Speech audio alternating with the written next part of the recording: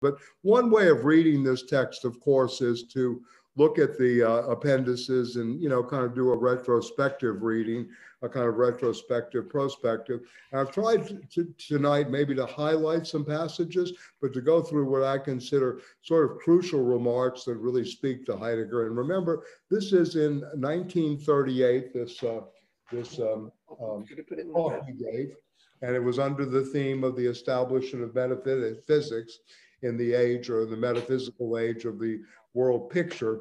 So, you know, he is responding to a question, you know, how metaphysics is being established and reestablished during this age of the world picture. So, excuse my light, but I, I needed to read. and, uh, but yeah, I thought I'd go back to go to the, the appendixes. And I, I was going to do some cross referencing as well tonight because of the, um, the uh, Descartes section to back to being in time. Um, and uh, um, as well as to some other things he did. But now that Dennis is here, first I'll preface this. Yeah, Dennis, are you here?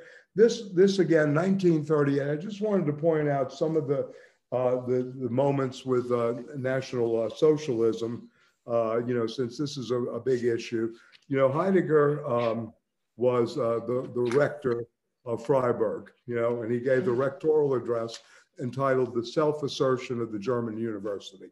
For those of you interested, Adorno gave an address uh, uh, similarly uh, in the same period on nature and the role of nature in the uh, in the institutions and on the future of the, the educational institutions. And there are there are differences, but there are similarities. But again, remember, uh, Heidegger is following in this long line of, uh, of Fichte, the address to the German nation. This was something you do in Germany, especially if you become the rector. Uh, and at that time, it was pretty clear that he had uh, not only affiliations to the Na Nazi uh, regime, but he also um, um, was, uh, you know, a, a, a, not maybe even maybe party member or certainly very supportive of National Socialism. But let me just mention a couple of things. This goes on, the self-assertion of the German university. Um, you know, also there are remarks in the black notebooks. There's certainly remarks in some of the texts on the um, that are anti-Semitic in the sense of the nomad Jews who are uprooted. Heidegger had a real thing about rootedness.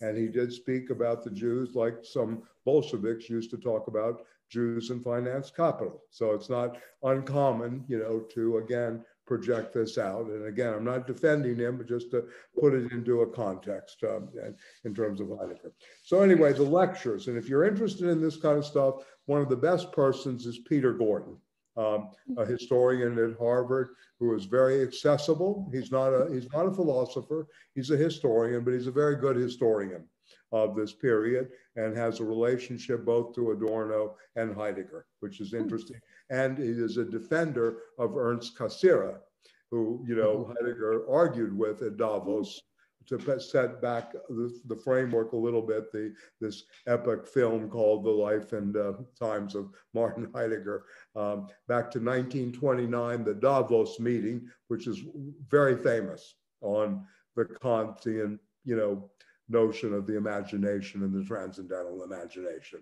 And basically, Heidegger you know, one is following at that conference arguing against Ernst Cassirer. Yeah. And uh, you began to see the violent tendencies, if you will. And I, I, mean that in kind of both the positive and negative sense. The violence being done to the text, but to extract from it or to make it move in a certain way that, you know, got outside the dominant thinking of the time. So this is a new kind of interpretation of Kantian linear, linear time, a, a very different. Yeah, Ernst Cassirer. Yeah, C A S S I E R. Yeah, Cassirer. Yeah, who was also very close uh, to um, Aby Warburg and, and ended up at the Warburg Institute in London and was, uh, hmm. you know, knew of Benjamin's work. So there's a very interesting other other side to this going on. And, you know, uh, but, but, but all to say, so 29, 27 is the publication of Being in Time, which pretty much guarantees Heidegger's uh, position in the German university. 1929, the Davos encounter with Cassirer. 1933, the self assertion of the German um, university. Very, very important uh, moment uh, as well. Um, then uh, the 1930, um, um, if you will, 1930 uh, um, uh, uh, lectures on the introduction to metaphysics, in which the famous passage, the inner greatness uh, of the movement called National Socialism is not reflect, reflected in the philosophies parading around. Uh, you know, he did he did state that at that time in the encounter with planetary technology. At the same time, he was also critiquing Junger in terms of Arbeiter, uh, the arbiter as the, you know, there's no distinction between labor and war or labor and the military. Uh, was what Junger basically was saying in his book, The Worker, which is certainly worth reading, uh, you know, and of course the notion of total, total mobilization as being part of everyday life, that the war machine is, uh, is uh, up and running. And, and I guess we could make the argument that the United States, uh, and mm-hmm. i adhere to this in 1938, got out of the quote Great Depression, if you will, the economic depression, mm. even after all the tinkering of the liberal left uh, New Deal. Uh, it took the warfare state, its beginning, that we still live with today, to do this, mm. right? Total mobilization was really used by the US and, of course, had you know, ultimately the transference of German science and technology that came here both before the end of World War II and then even in mass afterwards, you know, you had a kind of, you know, transportation, if you will, uh, a convoy, if you will, of people such as Wernher von Braun, among others, that came came to the United States afterwards. So this war machine really, really built was really built up. And of course, Robert McNamara, as you know, in the Defense Department, came out of the Ford Motor Company and became the Secretary of Defense in the 60s. And yeah, but anyway, this, these are all other stories that are, you know, but you could project, if you will, from this, this moment in Weimar and into the first moments of National Socialism. So 35, um, um, uh, you know, he also um, wrote a letter to an Israeli, uh, Solomon Zimak, in 1968, Heidegger, claiming that the, the the, the, the Nazi affiliation that people, uh, you know, laid on him ignored the whole of the lecture course, the Introduction to Metaphysics, which I have a copy of here somewhere. I put it, I don't know. Yeah, here it is. Uh, this is the, the best edition, the Polt edition, which has multiple uh, commentary if you're interested. Very famous um, uh, lecture course, 1935. You know, after he'd had about a year as the rectoral, um, you know, the, the the rector of the University of Freiburg. Um, he stepped down, by the way. He did step down as the rector um, for probably both political and uh, personal reasons.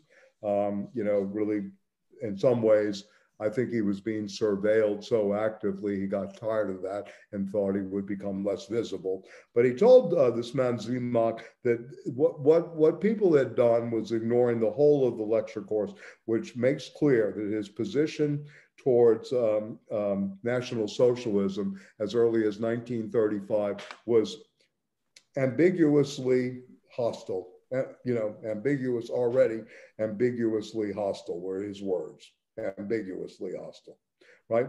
And the ambiguous is probably due to the, to the, fact 1936 to 1940 were his lectures on Nietzsche. And these were very coded lectures.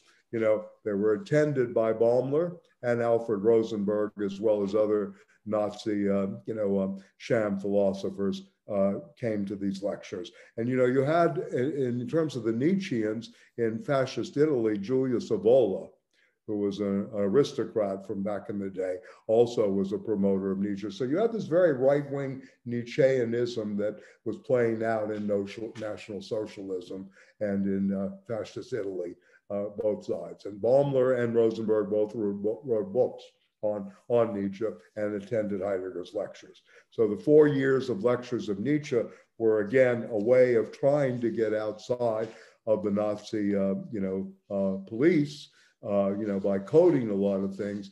At the same time, he wanted to continue to teach and think, and he kept mentioning that. So again, I'm not really trying to defend him. I'm really not. I just would like us to have a, a, a larger picture than it's just either or he was a fascist or not. Yeah, Carl. Yeah, please. Yeah. Yeah. Th- no, I, I, I appreciate you you bringing this up. You know, I, I did some very you know some skimming. I, I kind of looked some of this stuff up. I went to Wikipedia and then followed various links. You know, various articles. The New York Times article that was written you know that people referred to a lot. And it seemed to me kind of like you know the that that it doesn't work to sort of try and wash and you're not doing this but try and wash heidegger's hands of an affiliation with mm. the nazis. I mean he remained affiliated with them in an active way you know.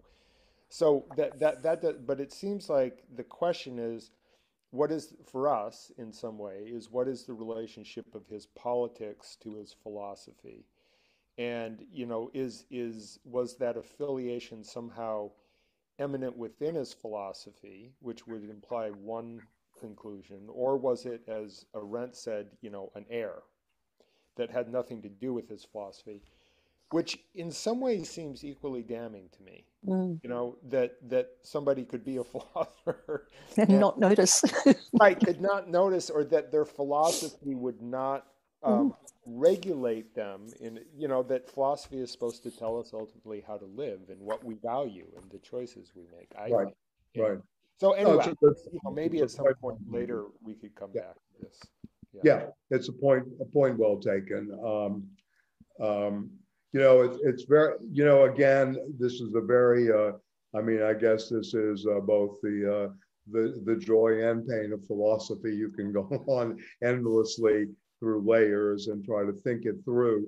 I mean, of course, you can ask what is Heidegger's relationship to the political. It was certainly much more advanced in terms of its thinking than Carl Schmitt, you know, um, during this period, who had wrote books on the concept of the political and was the author of political theology, and of which a lot of theocracies and the and the liberal and neoliberalism work on. Um, you know, as a, a very Schmittian background. So um, that, that's one, one aspect of this. Uh, and, you know, philosophers are notorious. Uh, you know, Plato's seventh letter, uh, you know, when he went to visit his ex students in Syracuse and time for philosophy to stay away from politics was one, one aspect of this. But it always comes back because Aristotle wrote a politics. Plato wrote the Politeia, the Republic. And in a sense, ever since then, you know, you've had this notion, especially of the great systematic philosophers. Uh, Hegel wanted his Napoleon, you know, Aristotle wanted his Alexander, you know, Marx had his Lenin, if you will, if you want to think that way. I mean, I'm not positive that that's a direct correlation. I mean, in some ways, you know, certainly the influences. And Heidegger, in some ways, did believe in the Führer principle, in the in the principle of the leader. So this is one way of going about it too you know, but it has historical precedence. He's not alone, right? And the, the, the, I guess the our, our question is, you know, does he teach us how to think, how to think outside?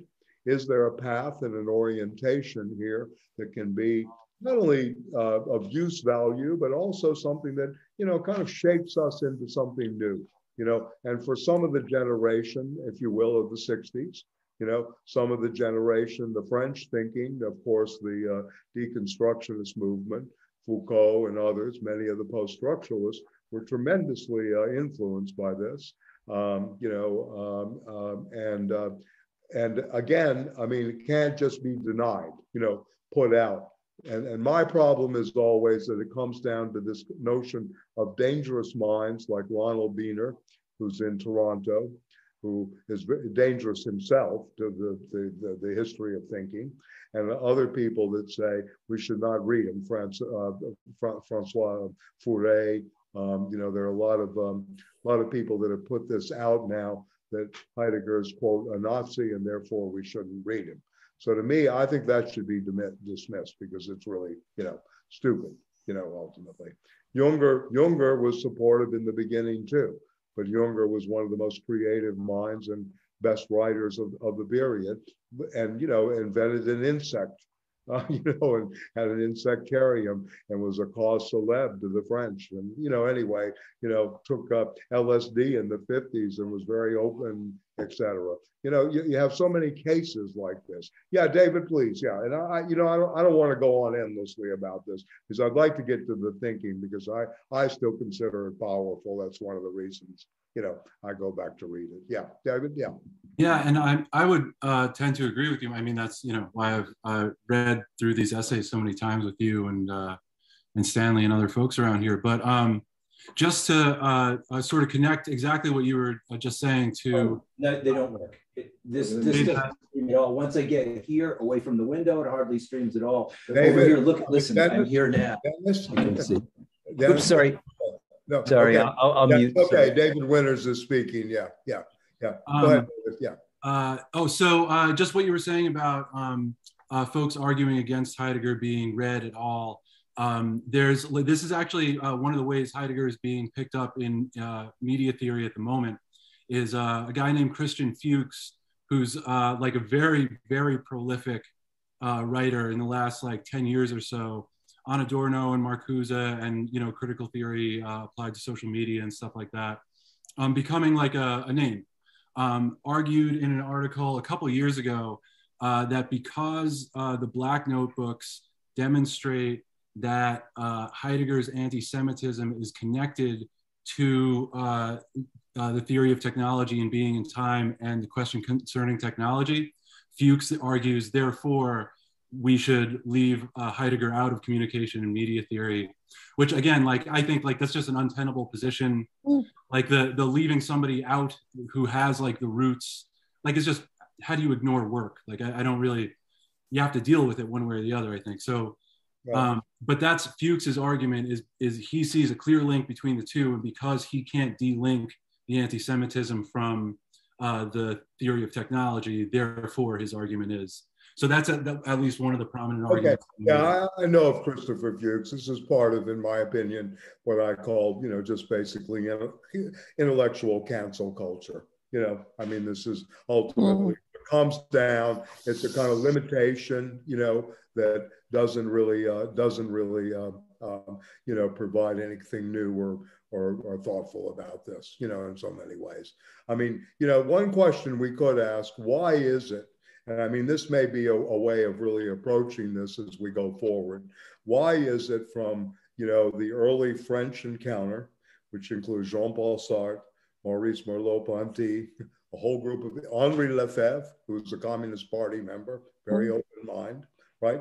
In many ways. Um, then into the next generation, Derrida, Foucault, you know, to a degree, Lacan, even though Lacan wasn't, you know, close in terms of, uh, you know, the, uh, you know, and, and, being a Heideggerian, but certainly was respectful and understood it in a way. You know, then you had other other people too, uh, you know, Paul Ricoeur, uh, you know, on the other side, um, uh, et cetera.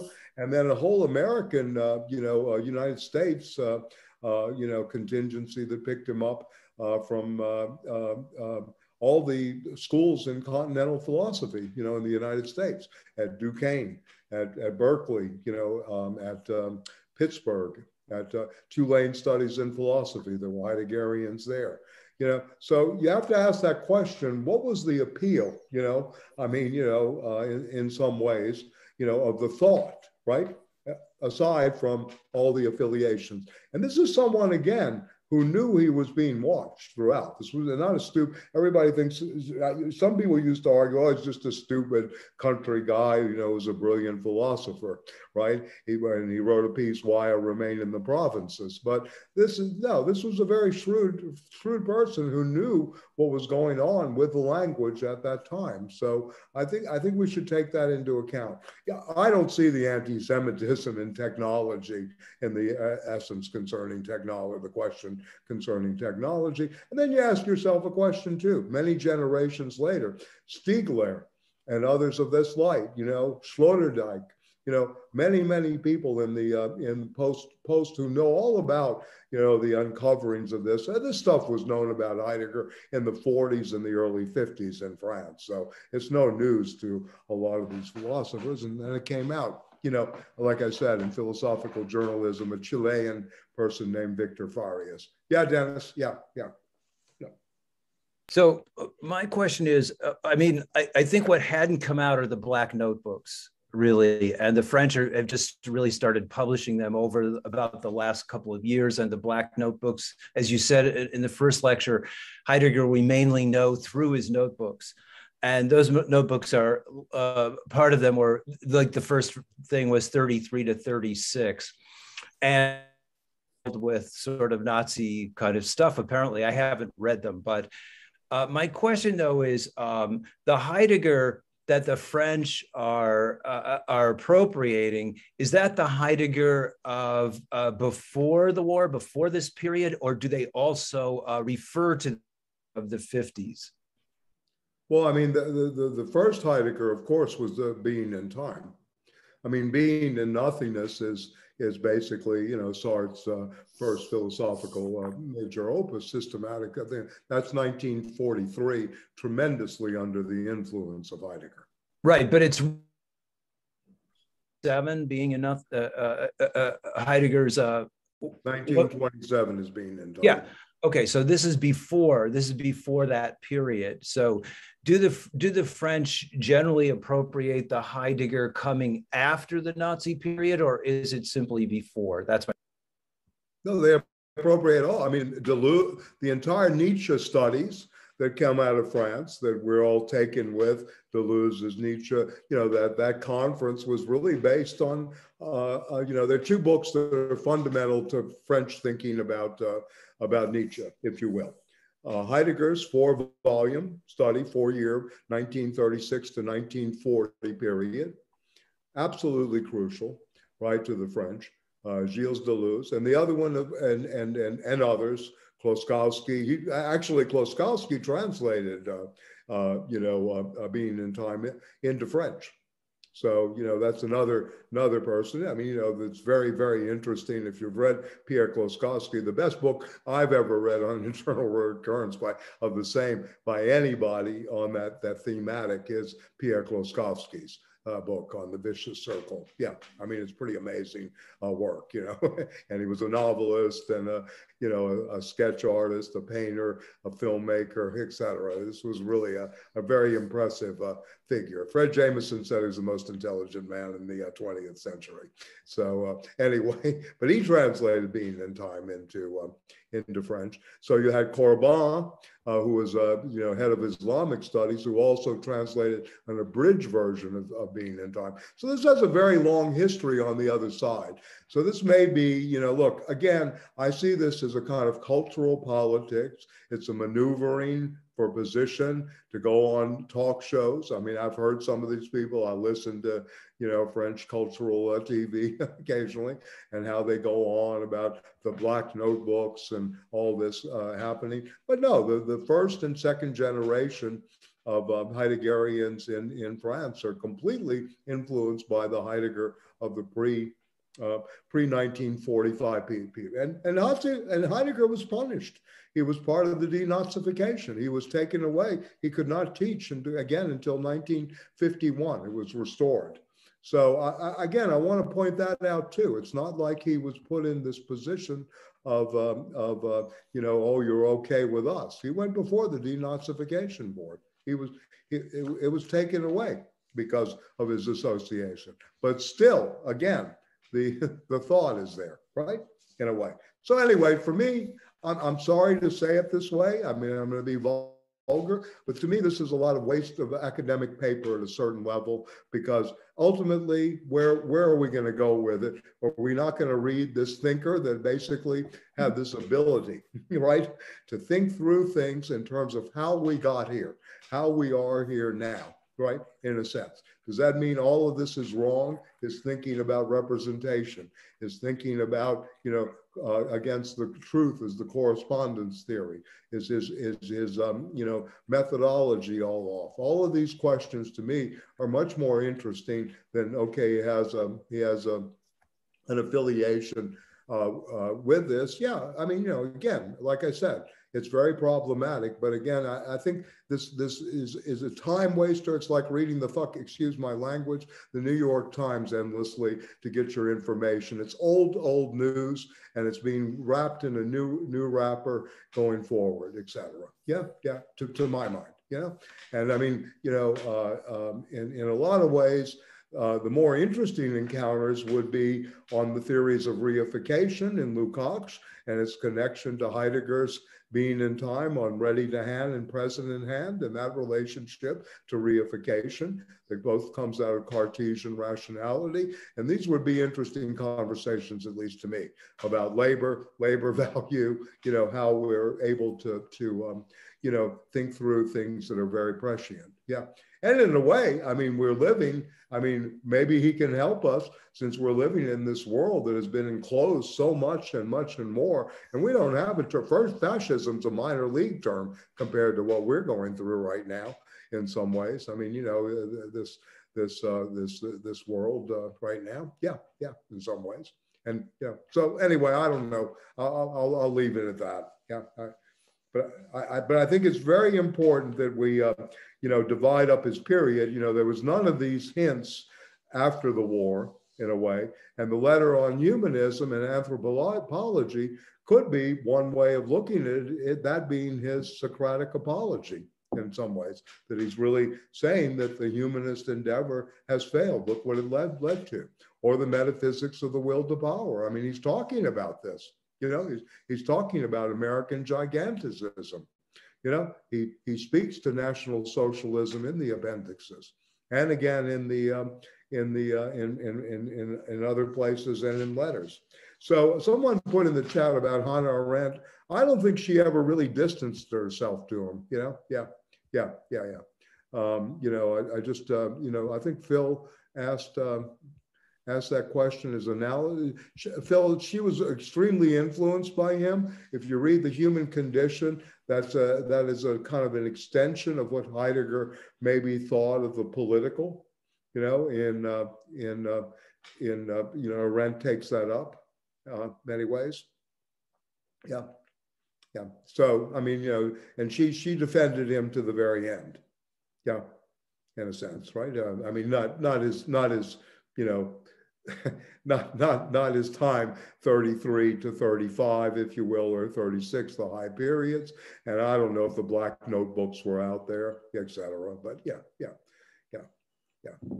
So yeah don't don't know yeah you know it's like you know to me sometimes it gets to the point I, I, know it's a different level but it's like saying marx couldn't feed his children and therefore two two left you know died. Or marx sleeps with a maid right? And you know you know et cetera et cetera. I mean you know it becomes kind of you know after a while. But anyway we can we can go back to it. Maybe we can detect something in the reading. But again uh, these are the things that you know, at least in my opinion, the careers are made on. You know, this, this guy, uh, you know, in, in France, these people in France right now are really going after this very much, right? Uh, you know, and and they've been doing this for the last eight to ten years.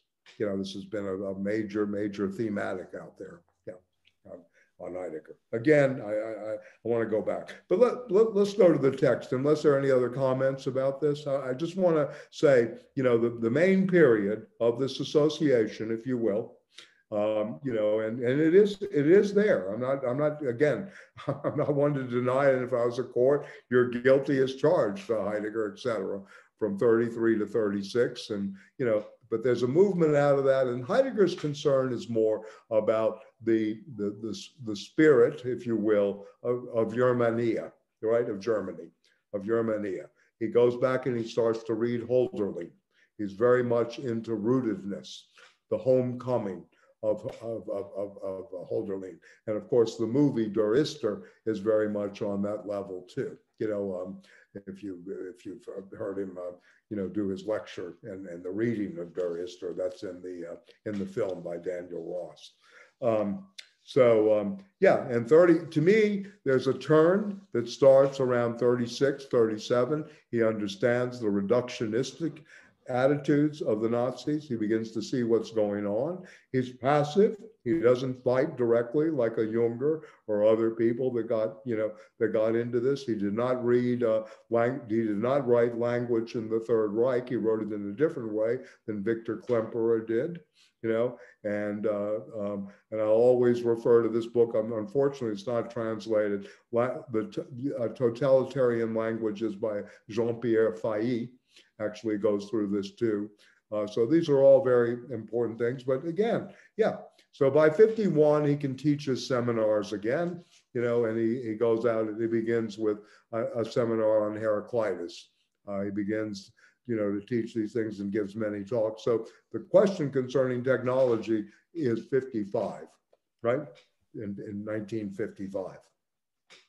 And it seems to me his shift, if you will, is an encounter with cybernetics, the dominance of cybernetics, you know, after the war. Yeah. You know, his antagonists become Norbert Wiener, right? The positivist tradition. You know, I mean, he always had the positivist as his thing, but cybernetics becomes sort of the enemy to Heidegger, the, the chief antagonists. And, you know, and uh, David Winters is in a program, you know, uh, communication, uh, the cybernetic uh, moment is so prevalent there in so many ways and all, all aspects, right? Yeah. And you know, you could ask about Freud, who who couldn't stand his uh, you know his nephew Edward Bernays because there probably was this you know thinking this man's using my thought as cybernetics and manipulation and exploitation, right? In, in a way, and, uh, yeah, you can think of that early on too. So yeah, yeah, and yeah. So I, I want to just go back to the text. Uh, you know, maybe we can turn to the appendix. Uh, you know, uh, again, um, let me just um, let me just say that the encounters with Junger, to me, conservative revolution, and I think it's better. I mean, look, for maybe for our purposes, and I'll hold to this. Uh, trying to be as open as possible. Maybe we should just look at this as a moment of conservative revolution and keep the Nazi ideology out of it. This was conservative revolution. Carl, Ernst Junger and Heidegger being two of the major figures, Carl Schmitt, in my opinion, being part of that triumvirate, but a much less, lesser thinker. And then there are a lot of people around this conservative revolution that are in Italy, including the Italian Nietzscheans, um, Julius Evola, among others. You know, Evola wrote many books about uh, Nietzsche. Yeah, and this has a long, long history in the occult in the 19th century.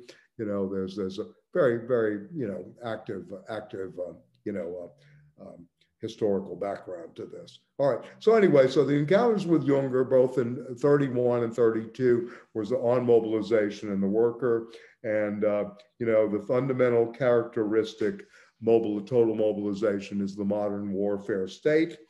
And, uh, and this is where Junger basically said the war and labor front are identical, right?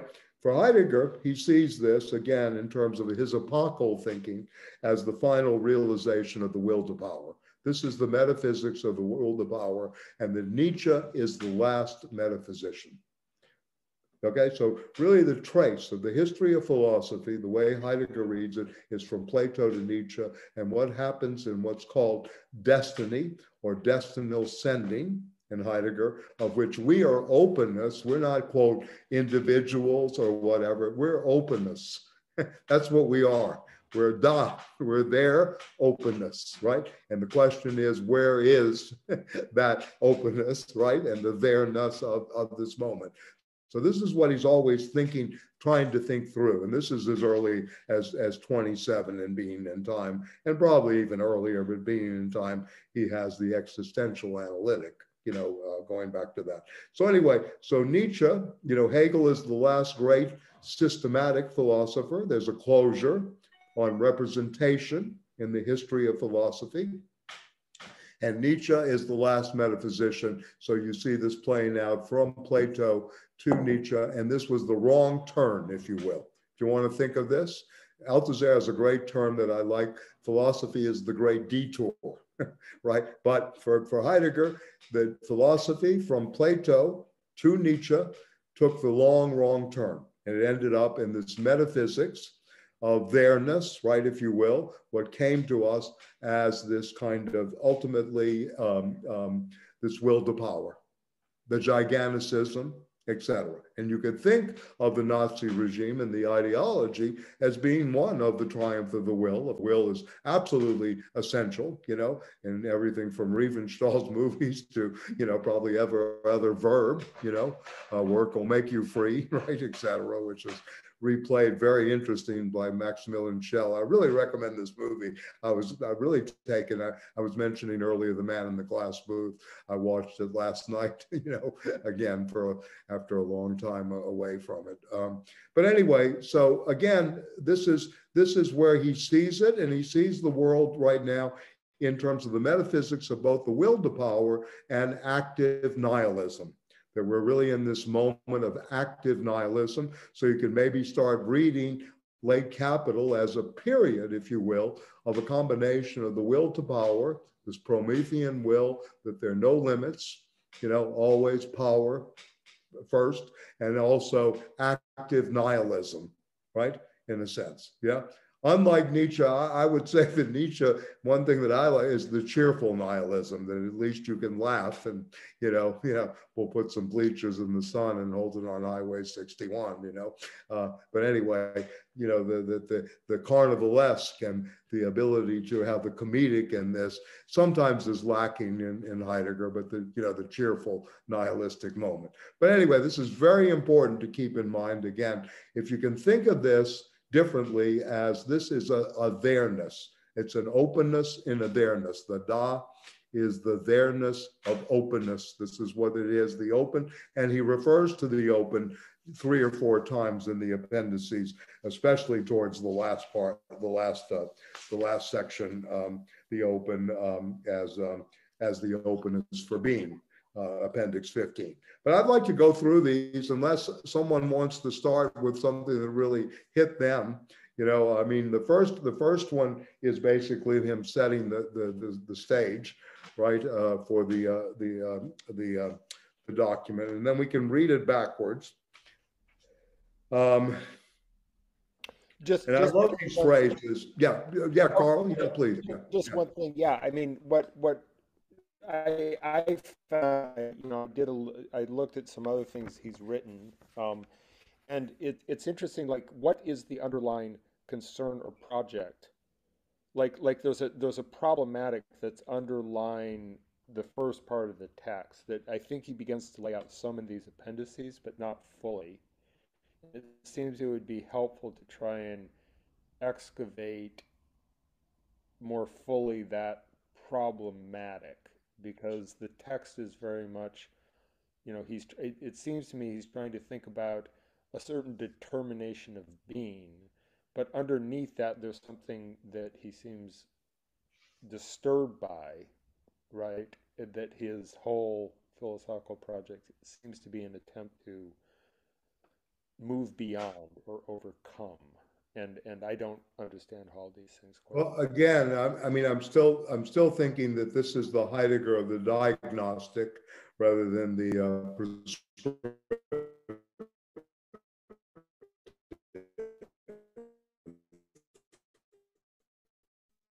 right for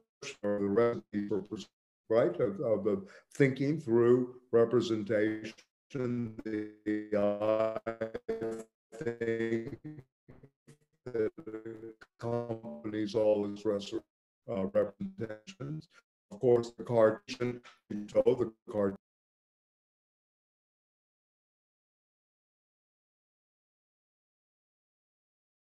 things that work again so showing age got to the point of the world picture or the world image, right? How, how, how did we get into this kind of thinking? How are we framed by this? It'll be extended in the question concerning technology in a more, you know, maybe rooted way. But here it's about how did we get to this point of where the will to the world is as representation, right?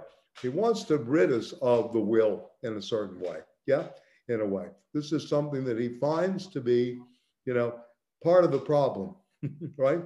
In terms of domination, in terms of uh, you know over over um, um, uh, overcoming the will is not really an overcoming. We need to overcome this kind of thinking of the will, you know, in many ways. So again, uh, yeah, I'm not, I'm not so sure. So the, the problematics are really around science that does not think or think its conditions really, but it is ongoing research itself. He has many, many phrases about this. There's, of course, this attack on what we were talking about earlier philosophical journalism, such as some of these French people are engaged in, in my opinion, with the black notebooks in, in some ways. Um, and, uh, and also, of course, you know, trying to then describe the open versus that of you know the closed horizon in some you know in, in, a different way.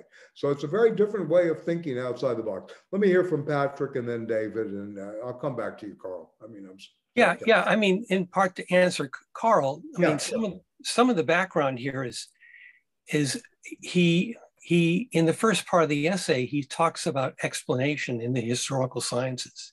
Right. And in in at this point in time well actually in early part of, of the 19th century, there was a whole discussion about the distinction between explanation and, and understanding. And the, the notion of explanation is much more um, guided by natural scientific methodology.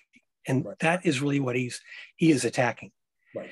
He he actually did his his I don't know what you would call it, his earlier thing on Duns Scotus under a guy named Rickert, who Heinrich Rickert, yeah, yeah, who is more, more interested in this notion of understanding, which is a matter of, of un- empathy and values and stuff like that.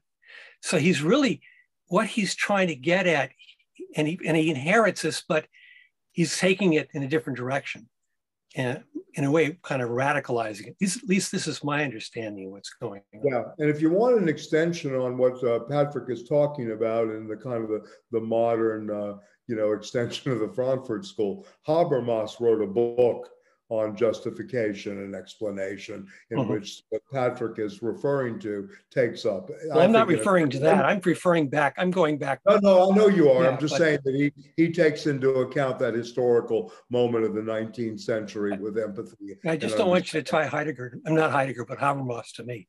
Okay. I agree with you. I agree. I'm giving it to Carl since he's into explanation a lot. You know, Heidegger is not into explanation. he's not. He's no. not really in a way. You know know, this is an attack on causality too. Our, exactly, our, and that's where that's where that's where Dilthey comes in, yes, in terms right. of the human science or Geisteswissenschaft. Mm-hmm. So he's really kind of grappling with this whole issue, and I think this yeah. actually ties back into the whole controversy controversy with Cassirer, because Cassirer's yeah. whole thing was essentially, I think, in some ways, you can read this first half of the essay is directed against Cassirer, but anyway, that's so, well, that's very true. And positivism, of course. Yeah. Right. Yeah. Yeah. Yeah. Yeah. No, it's a good point. Yeah. Yeah. Uh, you know, Cassirer wrote, uh, you know, this is against epistemology in a way to play on one of Adorno's books too, right? In the sense, you know, Cassirer was a Kantian and he was a very intelligent Kantian, you know, no, no small uh, potatoes, as our friend Aronowitz used to say. But he, he, you know, Cassirer wrote a book called The Problem of Knowledge, Heidegger wanted to deconstruct knowledge and the way knowledge came to be. This is very important to remember. And this is a tremendous influence on Adorno and Horkheimer, in my, my, my view. You know, Heidegger is the one that kind of leveled the ground on this uh, in so many ways in terms of the, the problem of uh, epistemological epistemology. But uh, Patrick's absolutely correct, and thank you so much. This is about, you know, critiquing methodology, the natural sciences, right? Heidegger had no truck with the social sciences, I mean, you know, in so many ways, obviously. And, uh, but, but anyway, yeah, so th- this again is, is part of the stakes, and it goes back to Dilthey. And he actually has many encounters, I can give you the references in Being in Time, with Dilthey and this notion of both understanding and the framing of the, the, the, uh, the, uh, the construction of the disciplines. Okay, David, go ahead. Yeah, we'll, we'll, we, we can, yeah go around the corner here. Yeah. Yeah, I was just um, uh, trying to note quickly, uh, like a couple moments within the the essay um, that uh, we can sort of put next to each other um, to try to identify like what what Heidegger's argument against like research is and what the alternative um, that he's sort of like picturing or, or arguing is, right? Yep. Um, and just like I, I don't want to read like I don't want to read too much of it at all, actually, but like um, oh my pages are different too. Um, what number is it? Is it the appendix or is it in the text? No, in the text. So I'm just looking at uh, in the text about halfway through, I think, when he talks about the objectifying of whatever is. It's the start of a paragraph as accomplished in a setting. This objectifying of whatever is is accomplished in a setting before. Exactly. Yeah. Okay, page 127 in our in okay. in the uh, translation. Yeah.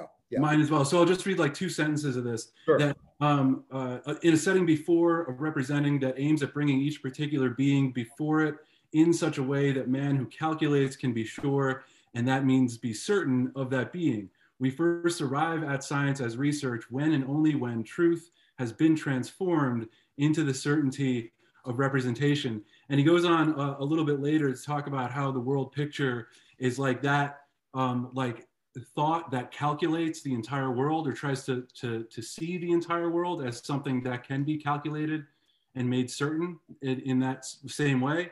And then on just as a quick comparison to what he's setting that against, on 130 and 131, uh, he talks about how the world picture uh, doesn't change from an earlier medieval one in the like middle of the, the first full paragraph on 130, that the world picture does not change from an earlier medieval one into a modern one, but rather the fact that the world becomes picture at all is what distinguishes the essence of the modern age.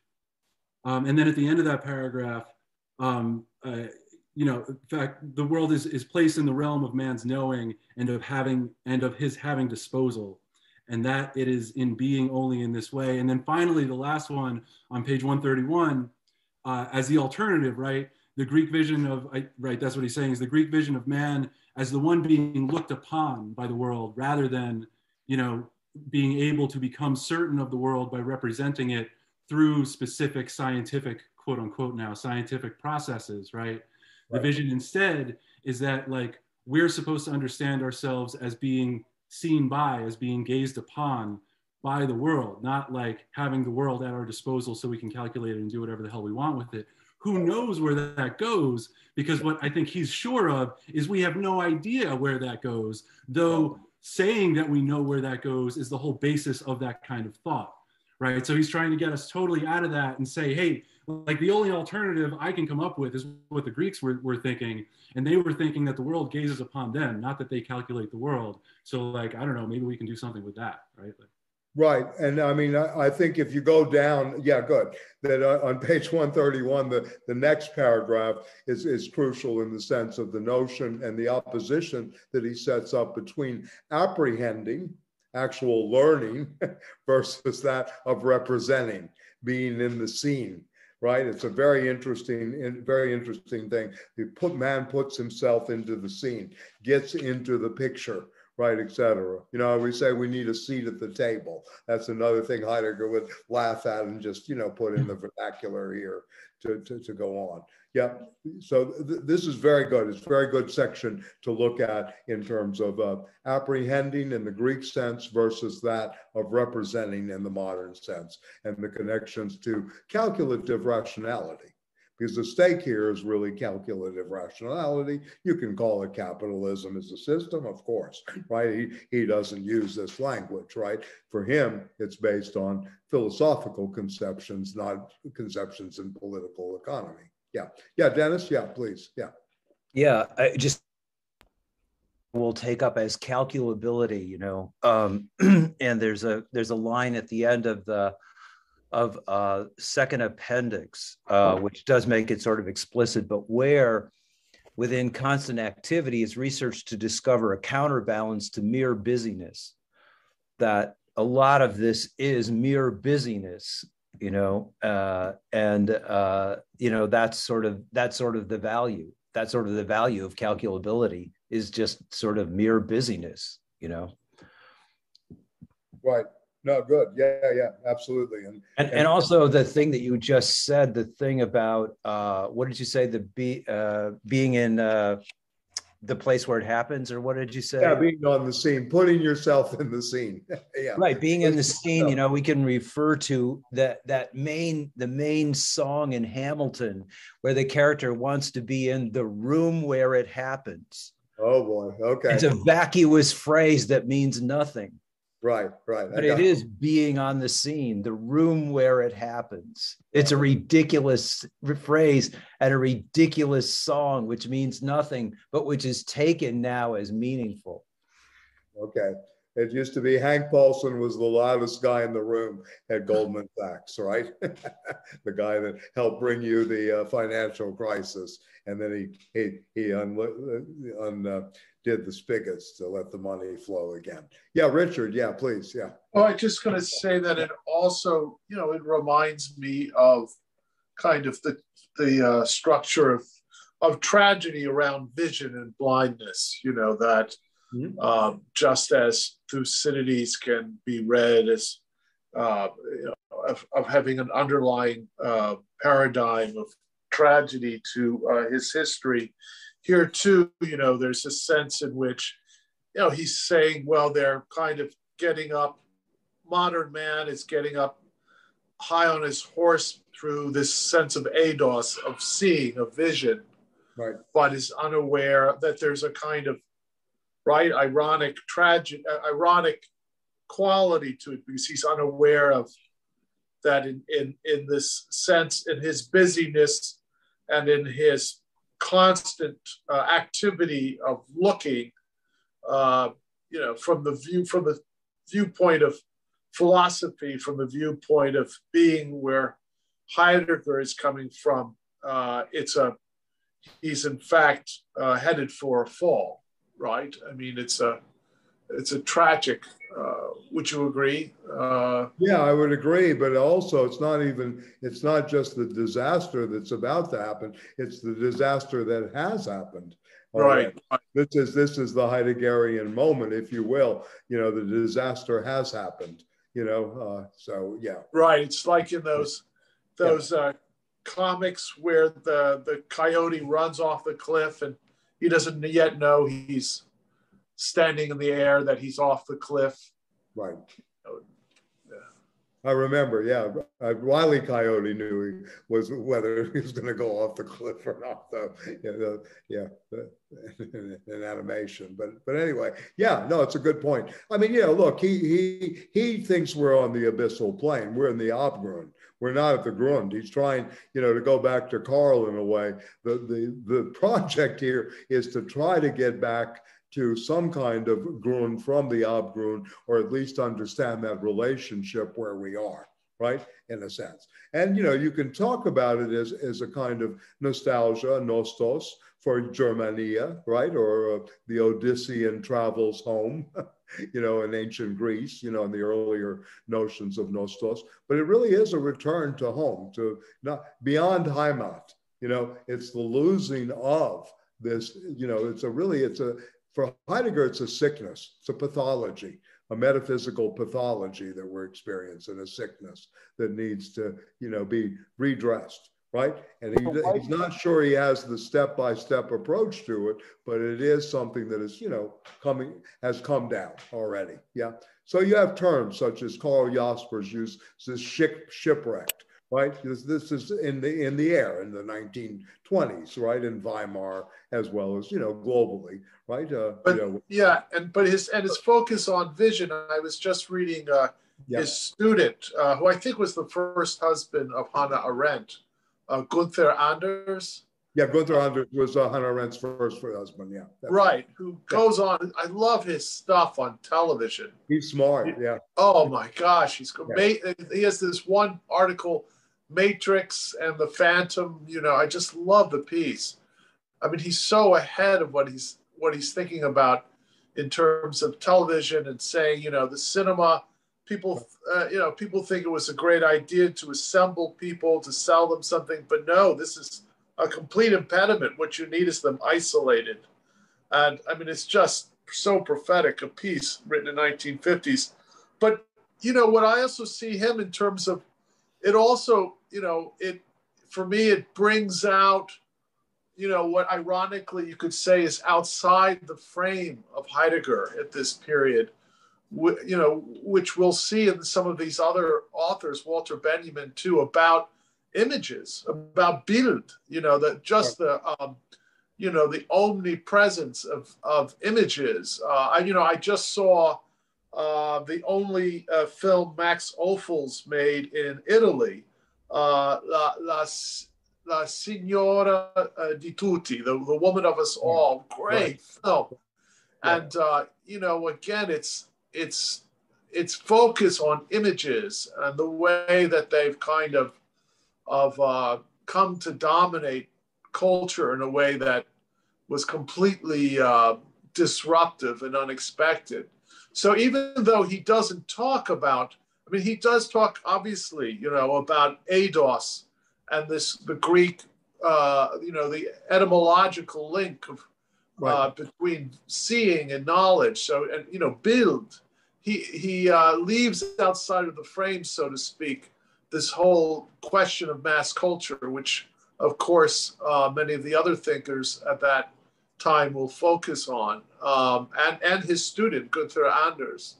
Um, but so it's it's you know striking. Right.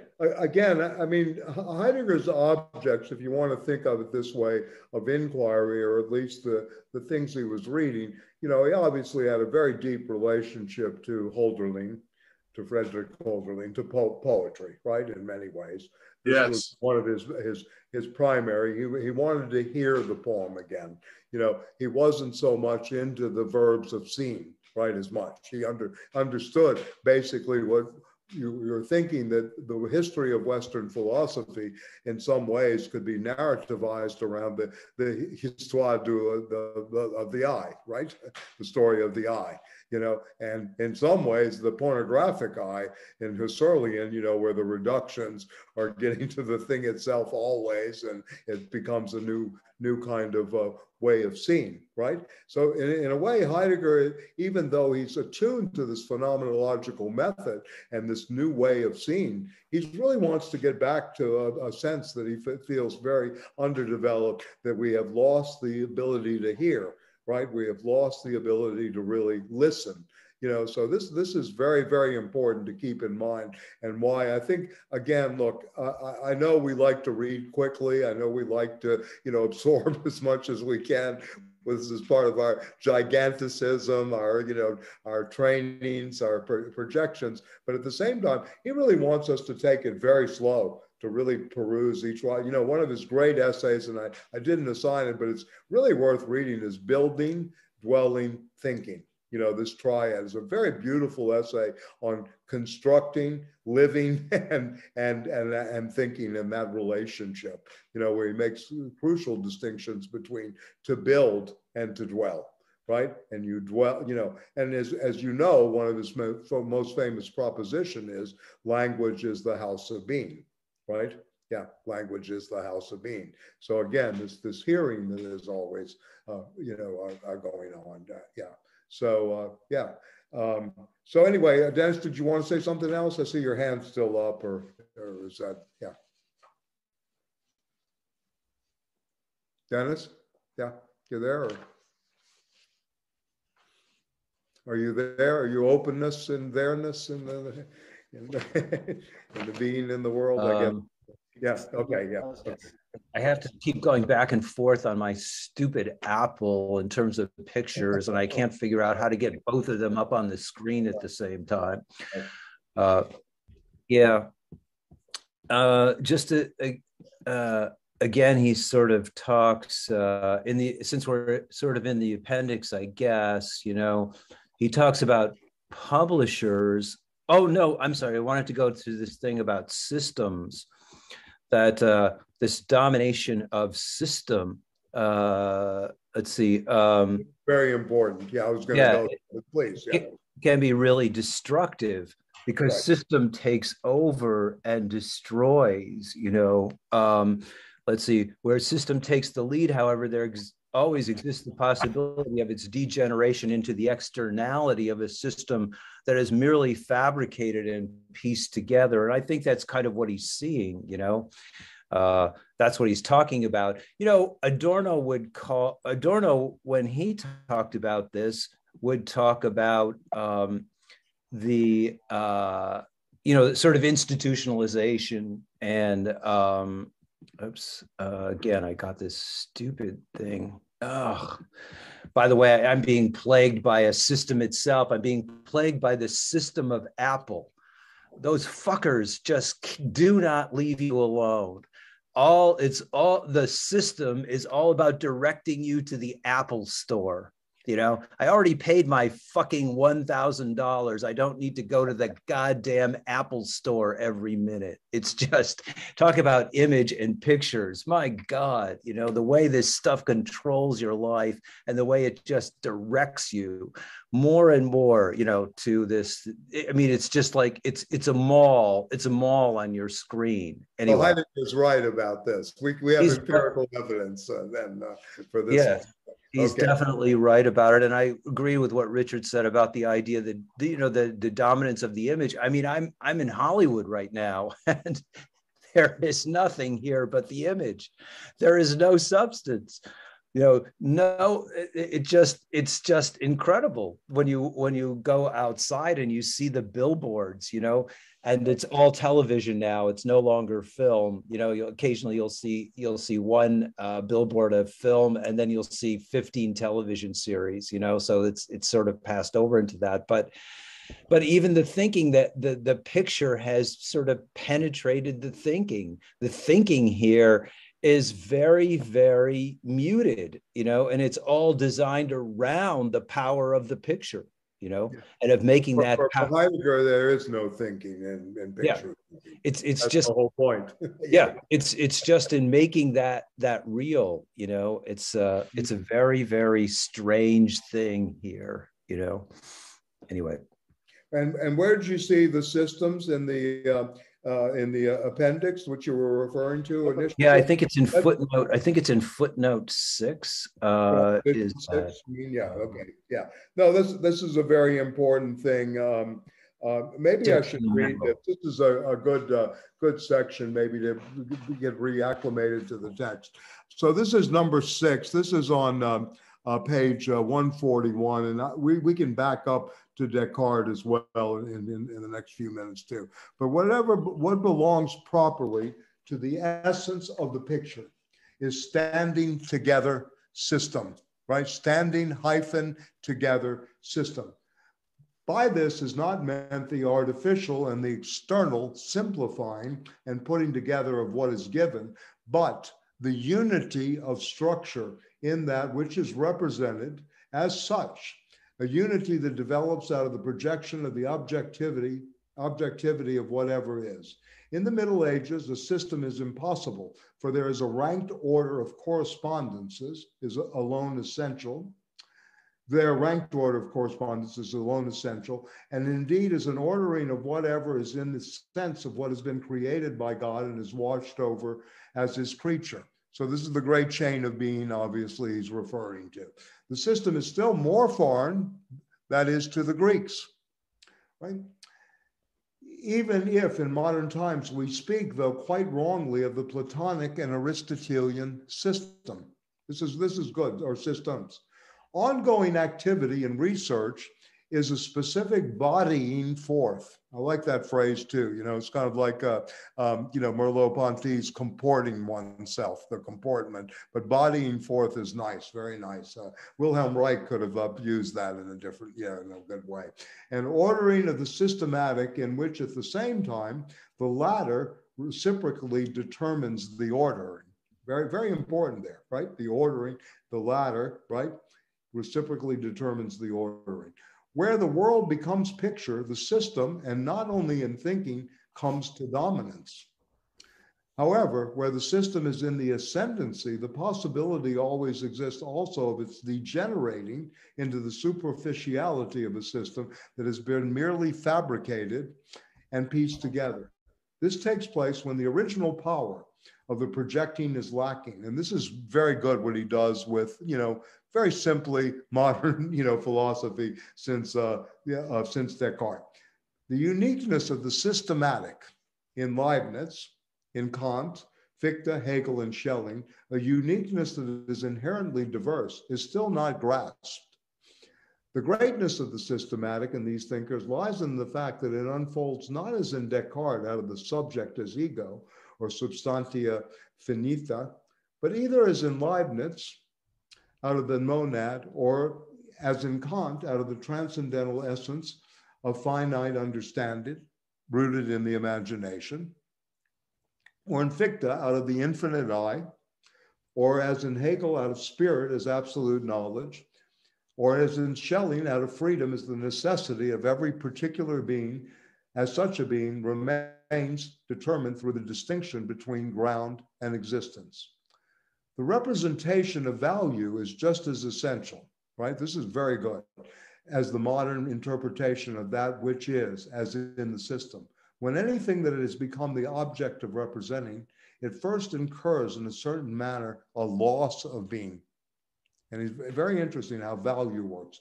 This loss is adequately perceived, if but vaguely and unclearly, and is compensated for with corresponding swiftness through the fact that we impart value to the object and to that which is interpreted as object that we take the measure of whatever is solely in keeping with the criterion of value and make of value themselves the goal of all activity.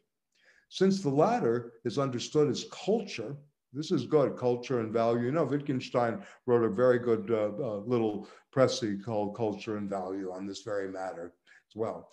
So, since the latter values become cultural values, and those in turn become the very expression of the highest purposes of creativity in the service of man's making himself secure as subjectium.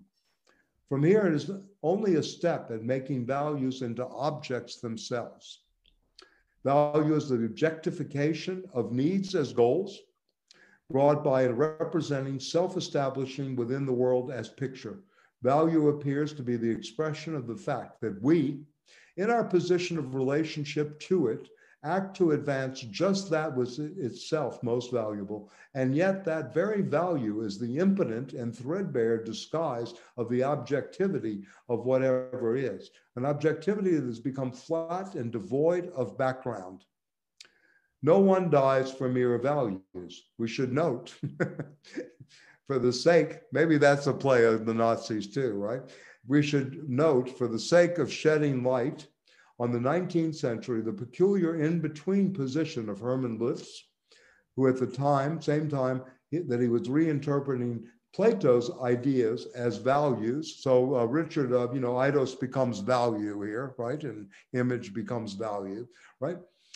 Undertook under the title Microcosmos that attempted an anthropology, 1856, which still drew substance to the nobility and the straightforwardness of its motive spirit of German idealism, yet also opened that thinking to positivism. This, this is interesting, right? Because Nietzsche's thinking remained imprisoned in value representation, and this is open to question. I mean, you know, I certainly have some things here, but anyway, he has to articulate what is essential for him in the form of a reversal as the reevaluation of all values. You know, this is, of course, the, the, the, the, book, an attempted reevaluation of all values, or what he calls the transvaluation of all values, right? It's both an attempt, but also a transvaluation of all values. So you can read this at, at different levels. But anyway, only when we succeed in grasping Nietzsche's thinking independently of value representation do we come to a standing ground from which the work of the last thinker, and this is again important, of metaphysics becomes a task assigned to questioning. And Nietzsche's antagonism to Wagner becomes comprehensive as a necessity of our history. This is very good, a good section to to to to, to tackle, Dennis. Uh, you know, in my my because he covers so much ground here. You know, in terms of the history of uh, philosophy since Cartesianism, and then of course, you know, looking again at Nietzsche as the last metaphysician because of value representation that he still remains in representational thinking. You know, as as as the last metaphysician in many ways. So this, this is a, a very, very important section, right? Uh, I mean, anybody want to, you know, uh, uh, uh, think about that? I mean, to, to, comment on this or some thoughts about it? Yeah. Yeah. I mean, you know, again, Heidegger is the thinker of being, right? The, this is his one thought, the thinking of being. Being speaks us.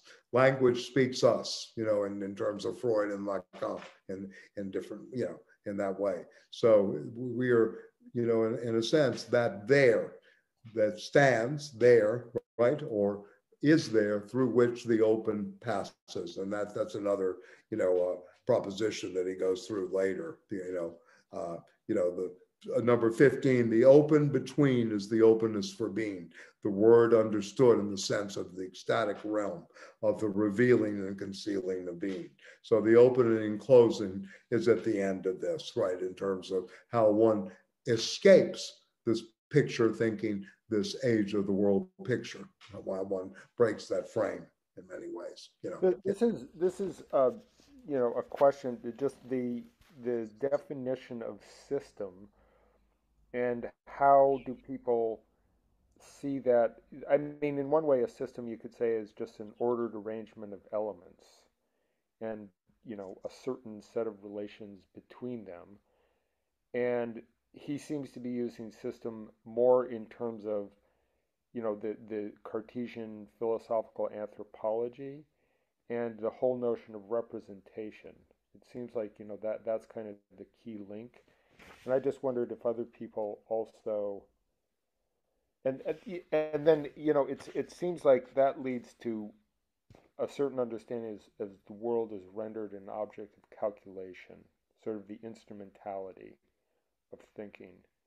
And that's when it loses some characteristic which he seems to want to recover. But I, I'm sort of thinking out loud a little bit, but it goes back to the earlier thing. I think uh, David raised it quite well of sort of this return to the early Greeks, this return to this different conception of the world. And it's interesting to me that that's where he goes with this. And and why does he go there? At you know, as sort of as he's he's, he's rendering this diagnosis.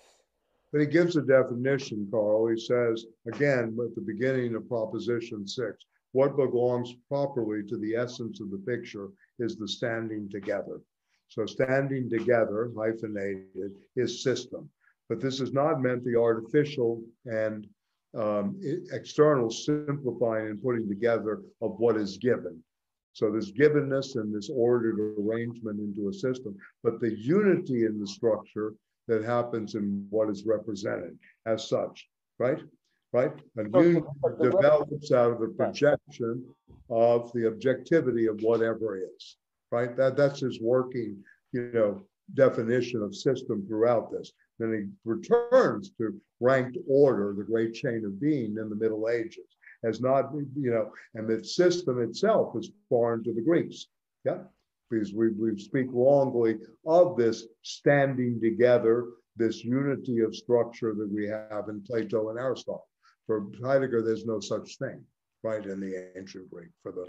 the yeah, he he um, on page one one thirty two, he talks about representing, and I mean, this just seems you know central to kind of what I'm seeing him try to do is to represent is to set before oneself and to set forth in relation to oneself right and that that that seems to be very linked to his critique of Cartesian, the Cartesian subjectivity. Right, but this, th- these seem to be different terms for something similar. That that there's there's a similar critique going on with all these things. Hmm. To represent means to bring what is present at hand before oneself as something standing over against, to relate it to oneself to the one representing it. So he's not like talking about like representation in the way I think it's commonly used today is like you know a kind of like almost more a Saussurean sense that you know the sign that I, I think he's talking about something very different than uh, that that's how I read it that that it's it when when you actually look at what he means by representation it's a certain mode of kind of constituting ourselves in relation to being. Or vice versa, in which something has been lost.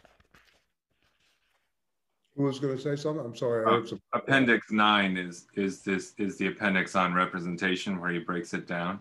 Yeah, it's actually one of the more difficult sections. I was going to bring it up.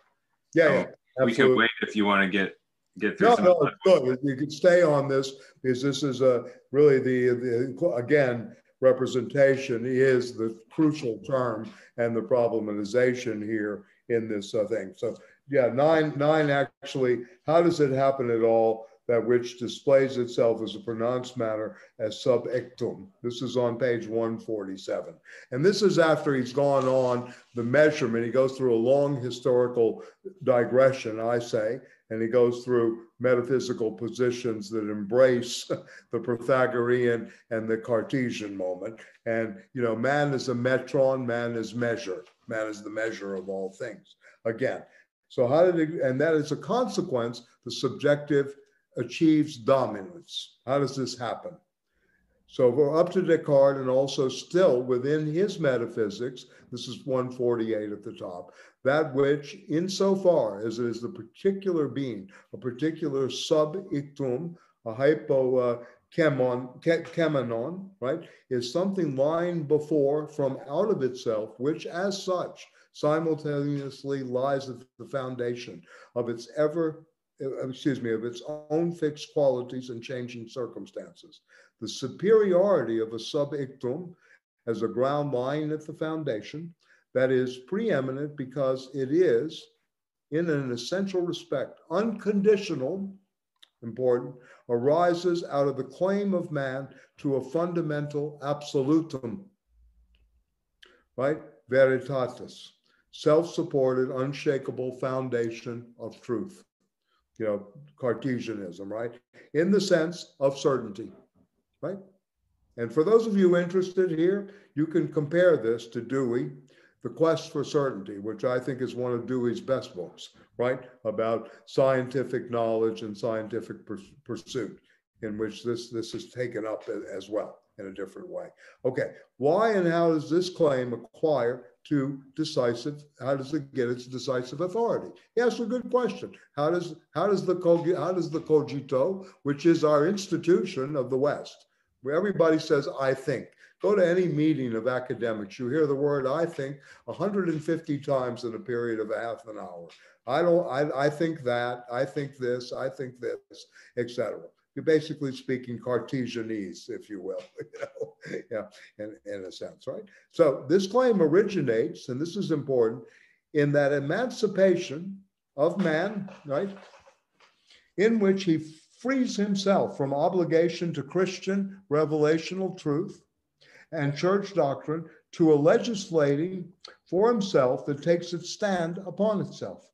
Through this liberation, the essence of freedom, that is, being bound by something obligatory is posited anew. But because, in keeping with this freedom, self liberating man himself posits what is obligatory, the latter can henceforth be variously defined. The obligatory can be human reason and its law, or whatever it is, arranged and objectively ordered out of such reason, or that chaos not yet ordered and still to be mastered through objectification, which demands mastery in a particular age. Okay? But this liberation, although without knowing it, is always still freeing itself from being bound by the revelational truth in which the salvation of man's soul is made certain and guaranteed for him. Hence, liberation from the revelational certainty of salvation had to be intrinsically a freeing to a certainty in which man makes secure for himself the true as the known of his own knowing. Now, this is a very interesting creative interpretation of the passage from Aquinas, right? and, and church doctrine, etc., and revelational truth to self certainty and the Cartesian uh, birth of the subject, of subjectivity. This was possible only through self liberating man's guaranteeing for himself the certainty of the knowledge, knowable. Such a thing could happen, however, however, only insofar as man decided by himself and for himself what for him should be knowable and what knowing and the making secure of the known, that is, certainty, should mean. Descartes' metaphysical task became the following. This is very good, you know, and and uh, I, I want to mention too, there's a good essay by Sartre on Cartesian liberty and, and others too. Uh, but he speaks of Cartesian freedom. And he actually goes after Francois Mauriac, a Catholic uh, thinker in this regard. Okay, the following to create the metaphysical foundation for the freeing of man to freedom as the self determination, the freeing of man as the self determination that is certain of itself. That foundation, however, had not only to be itself one that was certain, but since every standard of measure from any other sphere was forbidden, it had at the same time to be of such a kind that through it the essence of the freedom claimed would be posited as self-certainty. And those of you that you know have um, have um,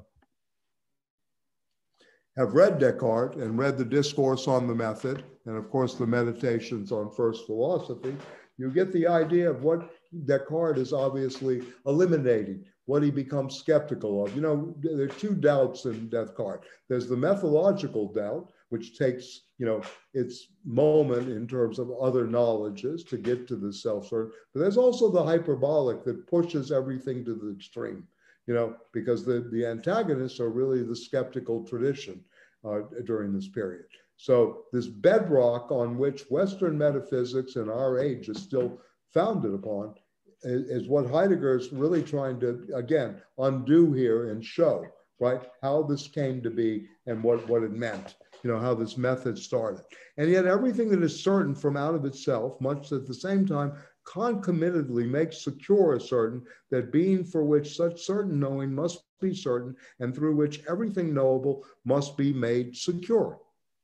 The fundamentum, right, very good, the ground of that freedom, that which lies at its foundation, the subjectum, must be something certain that satisfies the essential demands just mentioned.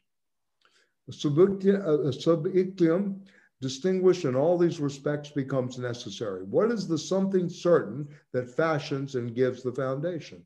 The ego cogito, ergo sum. The something certain is a principle that declares that simultaneously, conjointly, and lasting an equal length of time with man's thinking, man himself is indubitably co present, which means now is given to himself. Thinking is representing, and going back to where we started with this, setting before is a representing relation to what is represented, idea as perception, right, or as perceptio right? To represent means here of oneself, and the, this is he's he's in, inside Descartes here, of oneself to set something before oneself to make secure what has been set in place as something set in place. This making secure must be a calculating, for calculability alone guarantees being certain in advance and firmly and constantly of that which is to be represented.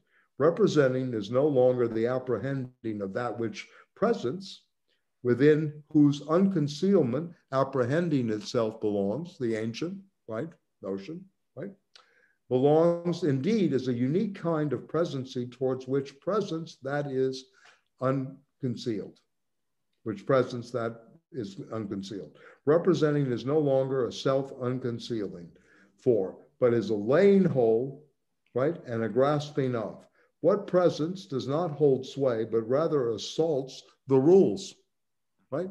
And this is very much true. Again, I mean, I know we don't have time to, you know, go, uh, you know, into every little aspect of Rene Descartes' uh, thinking, et cetera. But I, I always suggest, you know, methodologically, to really understand the scientific project and where we are, to read the rules for the direction of the mind, right, of Rene Descartes. It's amazing the level of the, you know, the quest for certainty there and the drive for certainty. And then, of course, the discourse on the method, all six parts, of which he actually demonstrates how he found it in, in uh, the third, uh, the third chapter of the discourse on the method, the third, third section, in which he, he speaks about how he discovered analytical geometry using his method right? Very interesting. You know, Descartes had mathematical discovery, you know, that analytical geometry that we learned was this combination of algebra and, uh, and geometry, you know, and he, he, he fused the two anyway. Very, very you know, very interesting. He also wrote, uh, you know, 350 pages on music uh, as well. uh, you know, quite, quite, quite, again, the thinker, you know, and, you know, we, we dismiss these people, but we don't really get into their, their thinking enough. So, so anyway, a going forth from out of itself into the sphere, first to be made secure of what is made secure. That which is, is no longer that which presents. It is rather that which in represented is first set over against. So, I mean, Carl and others, and I'm really glad Josh uh, pointed this out, um, you know, this, this section. This is really what he's really talking about here that representation is a setting against that stands freely over against, which has for the character of an object, right? Has the character of an object. This discovery of the object world by Descartes, one of his major contributions to the history of philosophy as well as the ecological region. But at the same time, Heidegger's understanding how this is happening, that the Greeks did not have this notion of representation, right? That it was very different in, in their in their their moment, right? In, in a sense. And the, yeah, yeah, go ahead. Yeah. One thing I just wanted to yeah, sort sure. of point out, and I don't yeah. know if this is right or not, but uh, my reading of this was sort of that you know this changing of the idea of freedom right. to being against and over objects because it, uh, freedom can only be self-determined against an object is really kind of the crux of what's happening here right like the greeks well, didn't domination have... of the subject right. over the object it's the right. early early moment of this yes right. of course yeah yeah, yeah. and I, and I think that that's like really what his what what he's you know angry about representation or or you know um... yeah. yeah. I mean, book, book, again, book five of the discourse on method, we have dominion, we have mastery over nature. You know, Descartes makes note that, that Descartes' project, if you will, you know, since uh, Carl brought up what's the philosophical project, was really that we could have mastery over anything. It was really a, a, a, kind of metaphysical therapeutic that he thought he was giving us the medicine for the future. He was the physician of the future, you know, really, in a sense right? That he was giving us enough power epistemologically to master anything. And you think about this in terms of if you want to parallel this to a kind of historicity, you know, this is the beginning of the manufacturing era. You know, they needed certainty in a lot of things, navigation, right, et cetera. This is the very early beginning. This is 17th century capital at work, right? Mercantile capital moving into manufacturing capital. So you can read this in a parallel way in many, many senses, right? Uh, yeah, to the, you know, the development of the, uh, of the uh, economic and, uh, you know, social forces, right? So I'm not trying to deny that at all. I mean, this is part of the quote, you know, philosophical unconscious at times, but you know, the philosophy is conscious of the, the concepts and how the representation is happening.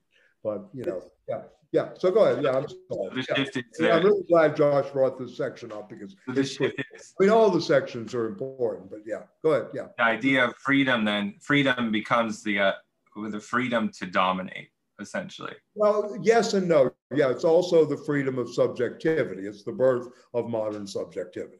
This is the origin of modern subjectivity. Cartesian freedom is the birth of this. Hmm. We, we still live in this, you know, self interest, me generation, right? All these things are coming out of this still, this kind of subjectivity. And, you know, he mentions subjectivism later, which is a kind of very narrowness, right? In a way, subjectivity, in some senses, if we rewrite that or rethink that, might be an advance over the subjectivism we have, this very narrow domination, this kind of forceful domination rather than reflective subjectivity. So yeah, yeah, yeah. But yes, this is what it leads to is this calculated rationality that can dominate and, and, and overcome anything. Yes, absolutely. Yeah. So you see the medical, you see allopathic medicine coming out of this, right? You see, you know, the domination of nature, It's, constant. You know, the way doctors operate, the way the medical professions is all allopathic here in, in so many ways. It's very Cartesian and, and framework. Not only the mind body, you know, distinction that he pulls off, you know, and, and the dualism, but at the same time, this kind of, you know, notion of representation and setting off oneself from the, from the object. Heidegger's trying to get out of this subject object completely, right? Yeah, completely. I mean, you know, this is this is underway, and and and, and, and yeah, Dennis, yeah, yeah. Yeah, if you think about it in terms of the medical establishment, it's a sort of ultimate form of calculability and rationality that there really is a drug for everything. There's a pill, and uh, what you have to do, and and it can also be it can also be tailored individually. But that's a system. That's a dom, That's a system that dominates and uh, all you need to do, all the drug companies work to simply define, well, first they work to define the illness and they make up an illness. And then they work to uh, create uh, a drug to, um, you know, to uh, assuage the uh, uh, what they've uh, you know what they've what they've created. Well, they're very, you know, they're very to, good uh, dialectically, us, right? every drug needs to have side effects, so you need another drug for those side effects. So they, they've got this. Well, but also, but also, but also, a lot of times, what they're doing is they're creating the they're they're creating a disease for which they now for which they've developed a drug, which is a cure. Sure, sure. So that's what he's talking about about the system dominating. Absolutely. Yeah. A, a, a system that claims to be rational but is ultimately irrational. Right. Right absolutely. Yeah. But so, but this is what, what, Michael, you said that Heidegger is trying to get away from the subject object dichotomy entirely. He's not trying to get away from it, he's deconstructing it. Right. Yeah, I mean, he's really. I mean, you're you're you're in the presence of an actual. I think one of the reasons Josh uh, chose this passage is it's it's actually deconstructive maneuvers at work right? If you read this carefully, he's undoing each step, right, in this Cartesian birth of an absolute certainty at the bottom, the ground of modern metaphysics and the and the and the and the ground of uh, first philosophy and uh, and and epistemology, modern epistemology. Everybody in modern epistemology has to go back to Cartesian rationalism, right? And this is why he's he's very good again.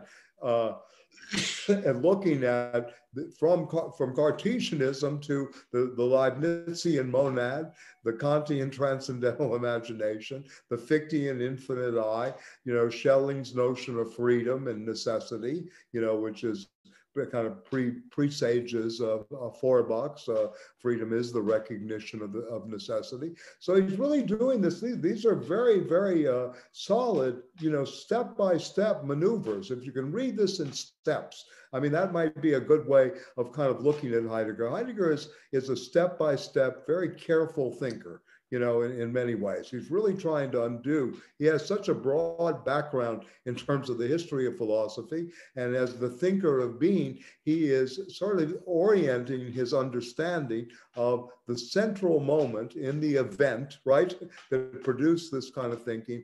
And then how do we get to this modern representational space, et cetera. And then how do we, you know, back to your earlier remarks, Carl, how do we basically reorient ourselves from this massive, you know, what he considers disorientation. You know, this is a symptomatologist at work. This yeah, is a I mean, yeah, this, no, it, yeah, I mean, again, yeah, yeah, exactly. And and it seems that you know, and this this thing comes up, you know, at various points in the essay is this notion of, you know, this representation, this objectification. I think that's what he means is, you know, the the set over against, right, and that it's it's right. the subject that becomes set over yeah. against the world yeah. and constitutes yeah. the world as knowable objects and that then you know the world is you know the the prior passage you read of that same paragraph right um, to represent um, oneself to set something before oneself and to make secure what has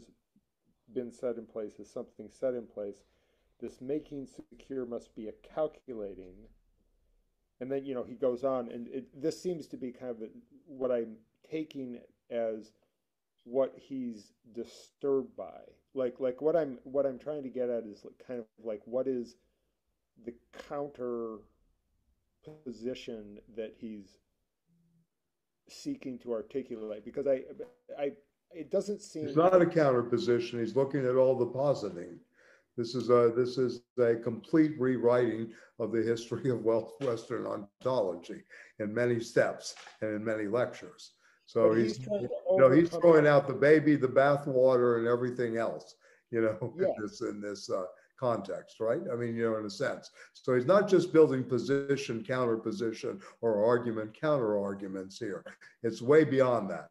In fact, Heidegger is not into argument. Argument. He understands the argumentum, but at the same time, he's trying to avoid the argumentum at this point because he again sees that as symptomatic too you know, uh, you know, he's, he's really trying to, you know, go go beyond that, if you will. Yeah. But th- yeah, no, no, I, I, I get all that. I mean, it goes back to like the very first sentence or the second sentence of the essay where he talks about, you know, every age has its metaphysics. What you know, it it understand what can what can it say about the world and what constitutes the nature of truth. Yeah. And it seems like his deeper project here is to overcome metaphysics as such. Absolutely. I mean, that's certainly where he ends up later on, right? And so I'm, I'm, but then it's it's interesting that where he goes is to the early Greeks, right? This this.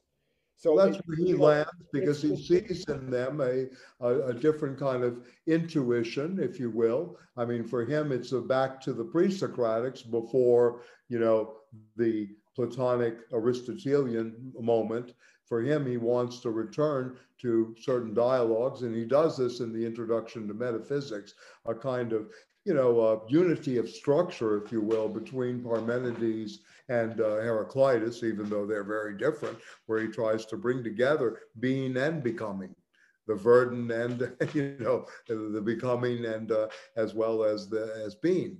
So this is very interesting. Uh, you know, um, very interesting the way he he goes uh, that way. He has nothing about the, um, uh, um, he, again, I, I, I, hope, I mean, in some senses, look, again, uh, you know, uh, there are obviously going to be problems with any any thinker ultimately but if you can think of this work as as a kind of step by step right deconstruction that's going on you know, without uh, an exit, at least in the beginning, right? yeah, he's going to go back to these kind of things where we have to think what does it mean to be open, right? what does it mean to be there? In, in the world, right? And that openness. What does what what does this set up for us into the future?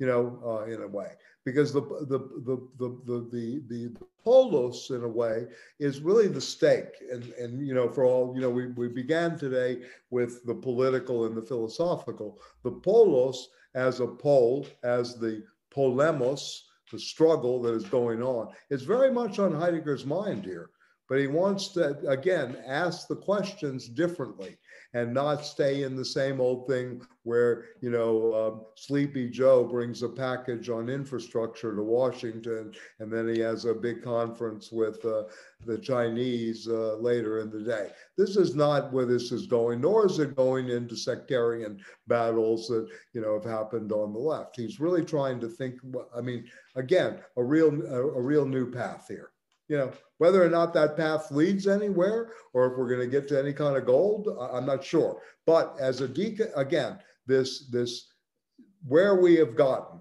to this abyssal plane in terms of the metaphysics of our era, epoch, right? This epoch. And let me just do this for, for my mind, if you if you do a history of being and you think of the three thinkers, right, in a sense, and I've, I've said this before, and I'll, I'll try to elaborate this more as we go on. But you know, you can think of the modern world. You know, you have being being as value, Marx, right? Marx is really about exchange value, right? In a sense, the great deconstructor, if you will, of value. Nietzsche as being as power, right?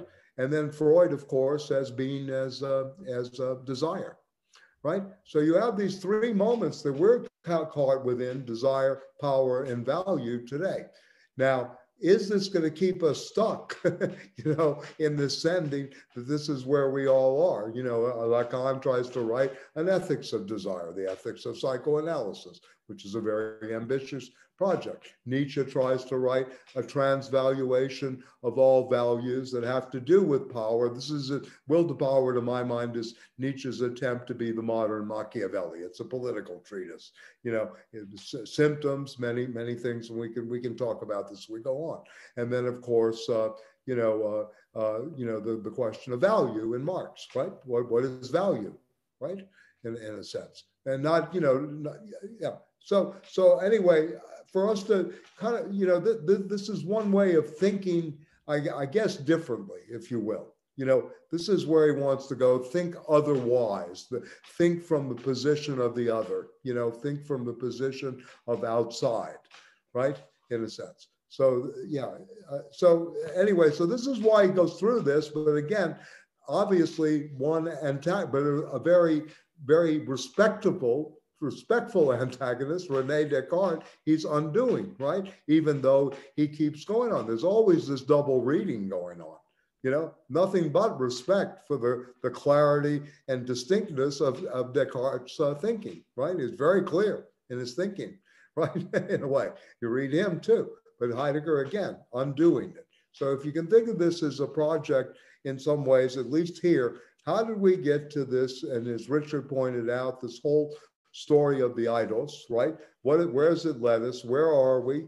How has it blinded us in a different way? How has it uh, actually mesmerized us in some senses to the point of we were no longer here, right? And you know, one of the great phrases of Marx that I love, and our friend Bruno Gulli is not here tonight, is Marx's a great uh, reference in the economic and philosophical manuscripts to the theoretician of the senses, right? To be the theoretician. It's a very beautiful passage about really the prehistorical to me in a way is that, you know, we, we, we don't have our senses. We're not really yet human. The debates on humanism and anti-humanism, we're, we're still pre-human in many ways because we have not really developed that capacity, that fullness in a sense, right? So, you know, uh, so th- this is a, you know, something we, we could be doing uh, more. Yeah, let me, let me just read a couple of more sections and I'll, I'll come say, back. Uh, just yeah, very yeah. briefly, one thing. Yeah, I, I think I'm kind of reading this text and some of the other things that I've read uh, by Heidegger as ethics. What do you mean by that? I'm sorry. Just uh, yeah. I mean, I I see the epic movie from no, know 1920 uh, till about 1976. But yeah, go ahead. Uh, yeah. No, just just it it seems like there's a you know that what I what I find interesting is what are the ethical implications. Okay. Of, of, of what he's what he's doing. I mean, you know that that the the attempt to move beyond meta, metaphysics, I think is ultimately rooted in a, a striving for a kind of ethic, a kind of, you know, a rethinking of, of, of ethics of our, our place in the world in some sense, that he's trying to uncover something that is transformative. But uh, yeah, that it's, that, that's, that's where I think what, what I'm saying is kind of yeah, no, that's, that's a good point. I mean, you know, he kept going back to Aristotelian ethos, and this was a constant. Book six of the Nicomachean Ethics was a consistent reading of his. You know, it's like Marx. Marx kept reading Aristotle's uh, uh, prior and posterior analytics until his dying day. In fact, he died with uh, an ancient Greek, uh, you know, the copy of the, uh, I think, the uh, the prior analytics of you know, the logic of Aristotle, the organon. Uh, and, uh, you know, Heidegger meditated on these things, book four of the physics, book six of the Nicomachean ethics. And this is where the thought crystallizes. And, and, and for him, it's very important to kind of think, yes, and what, what is this relationship, again, to the Aristotelian polos? What is this relationship, if you will, to, uh, you know, the, uh, the, the, the polemos and the polos together? Right? How, how does this space open up? And you begin to see this too in, in text, and we're, we, we're not reading, but I mean, it's a, a very profound essay. And, you know, Jameson reduced it to the twofold instead of the fourfold, but the origin of the work of art, right? Or the Ursprung, you know, the springing forth of the work of art. So he speaks about, you know, uh, you know, more mortality and, and divinity horizon and ground in this in this essay and how the fourfold works in Van Gogh's Shoes of the Peasant. It's a reading of Van Gogh's Shoes of the Peasant, right? And uh, you know, Jameson reads it as the twofold structure of struggling against the earth and making the living. But anyway, this is you know, yeah, that's fair enough. Yeah, in, in a sense. But yeah, so yeah, I mean, you're right. I mean, you know, in a way, there is a struggle for a, a, a third way, if you will in his case, right? In the introduction to metaphysics, Germany was the space between the East, right?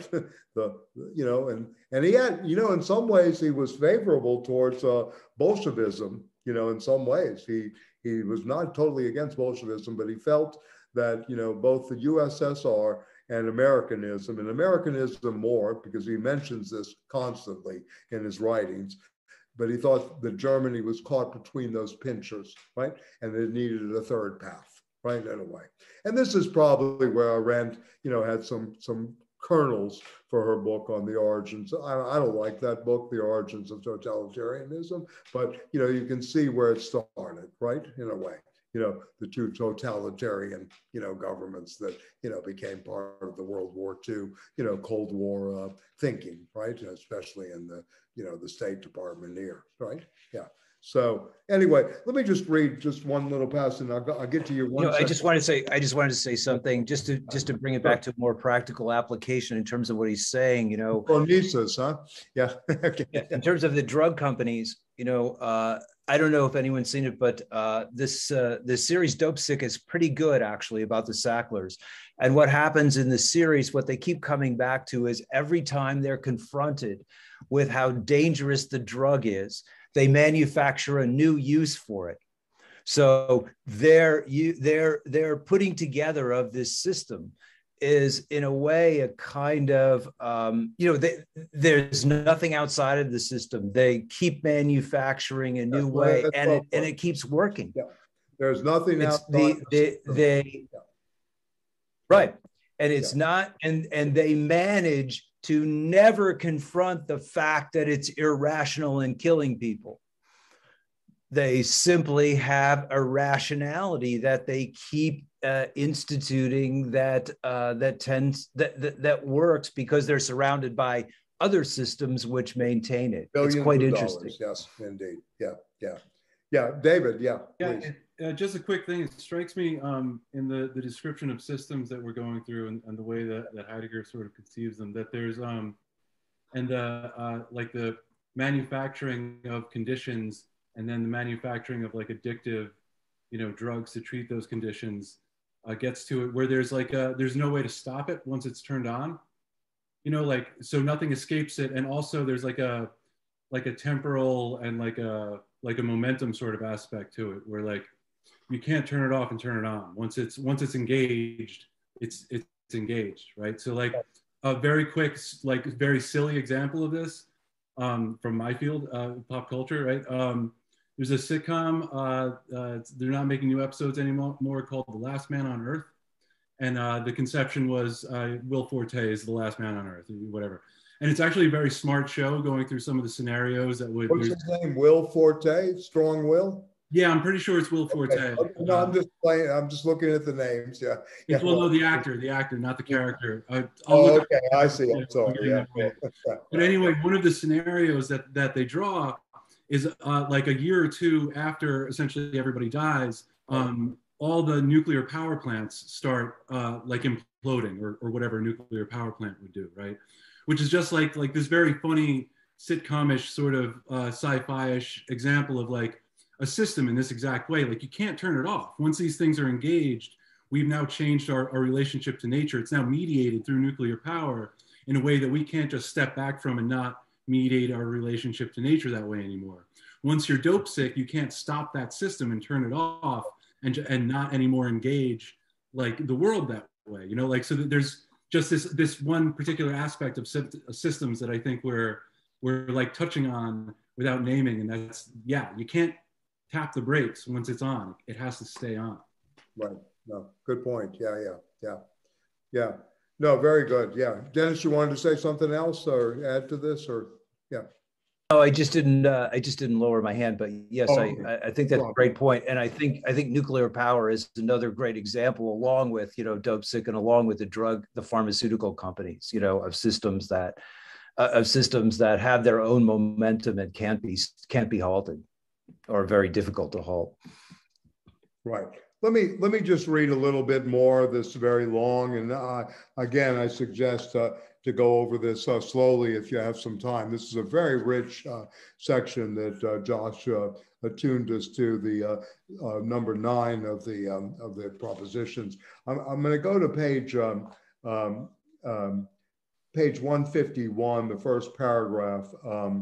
Now it has also been clarified in which sense man is subject intends to be and must be the measure and the center of that which is which means of objects or whatever stands over against. Okay? So um, man is no longer metron in the sense of the restricting of his apprehending to the encircling sphere, particularized at any given time of the unconcealment belonging to whatever presence towards which each man presents at any given time.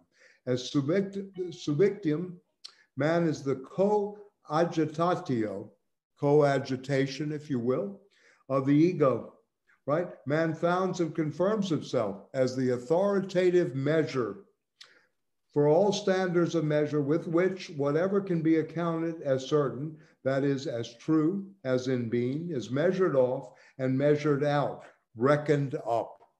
Very interesting. The, again, the calculation, calculative. Freedom is new as the freedom of the subjectium in the Meditations for First Philosophy, the freeing of man to the new freedom is brought out into its foundation, the subjectium.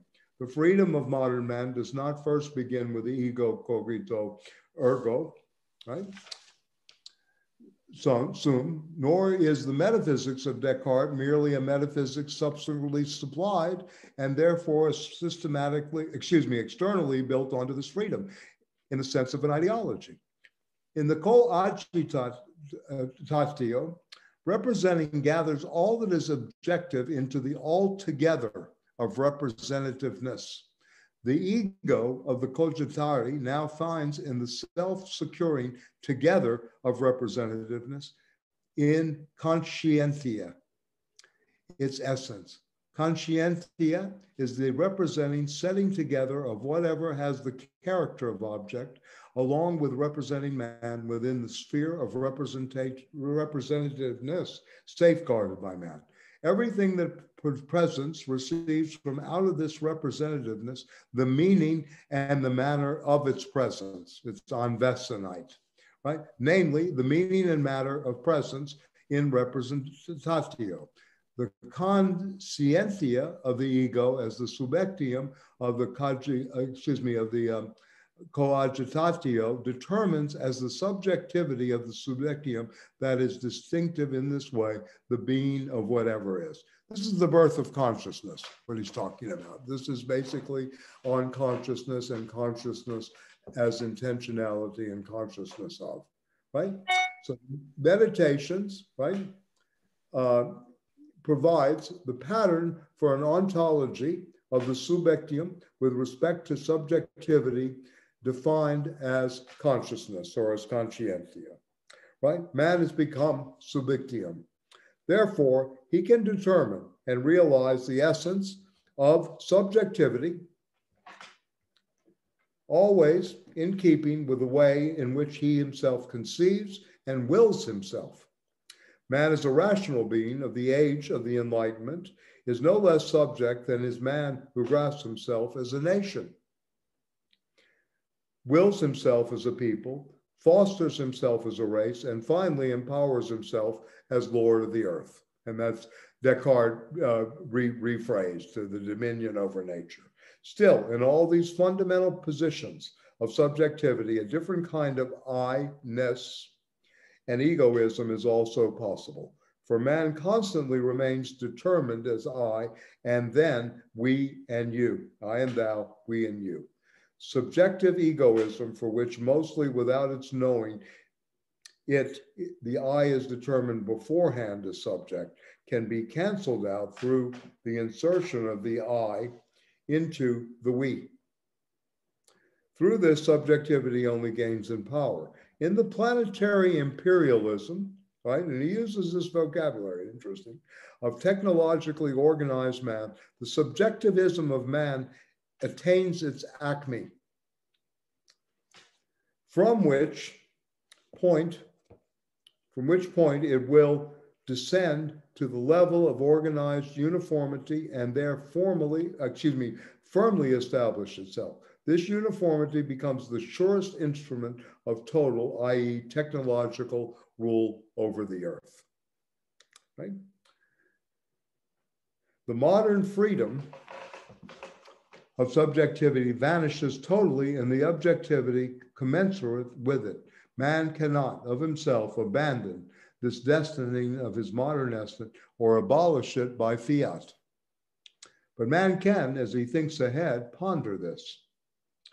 Being subject as humanity has not always been the sole possibility belonging to the essence of historical man, which is always beginning in a primal way, nor will it always be. Fleeting cloud shadow over concealed land, such as the darkening, which that truth is the certainty of subjectivity, once prepared by Christendom's certainty of salvation, lays over a disclosing event and this is uh, his notion of Ereignis.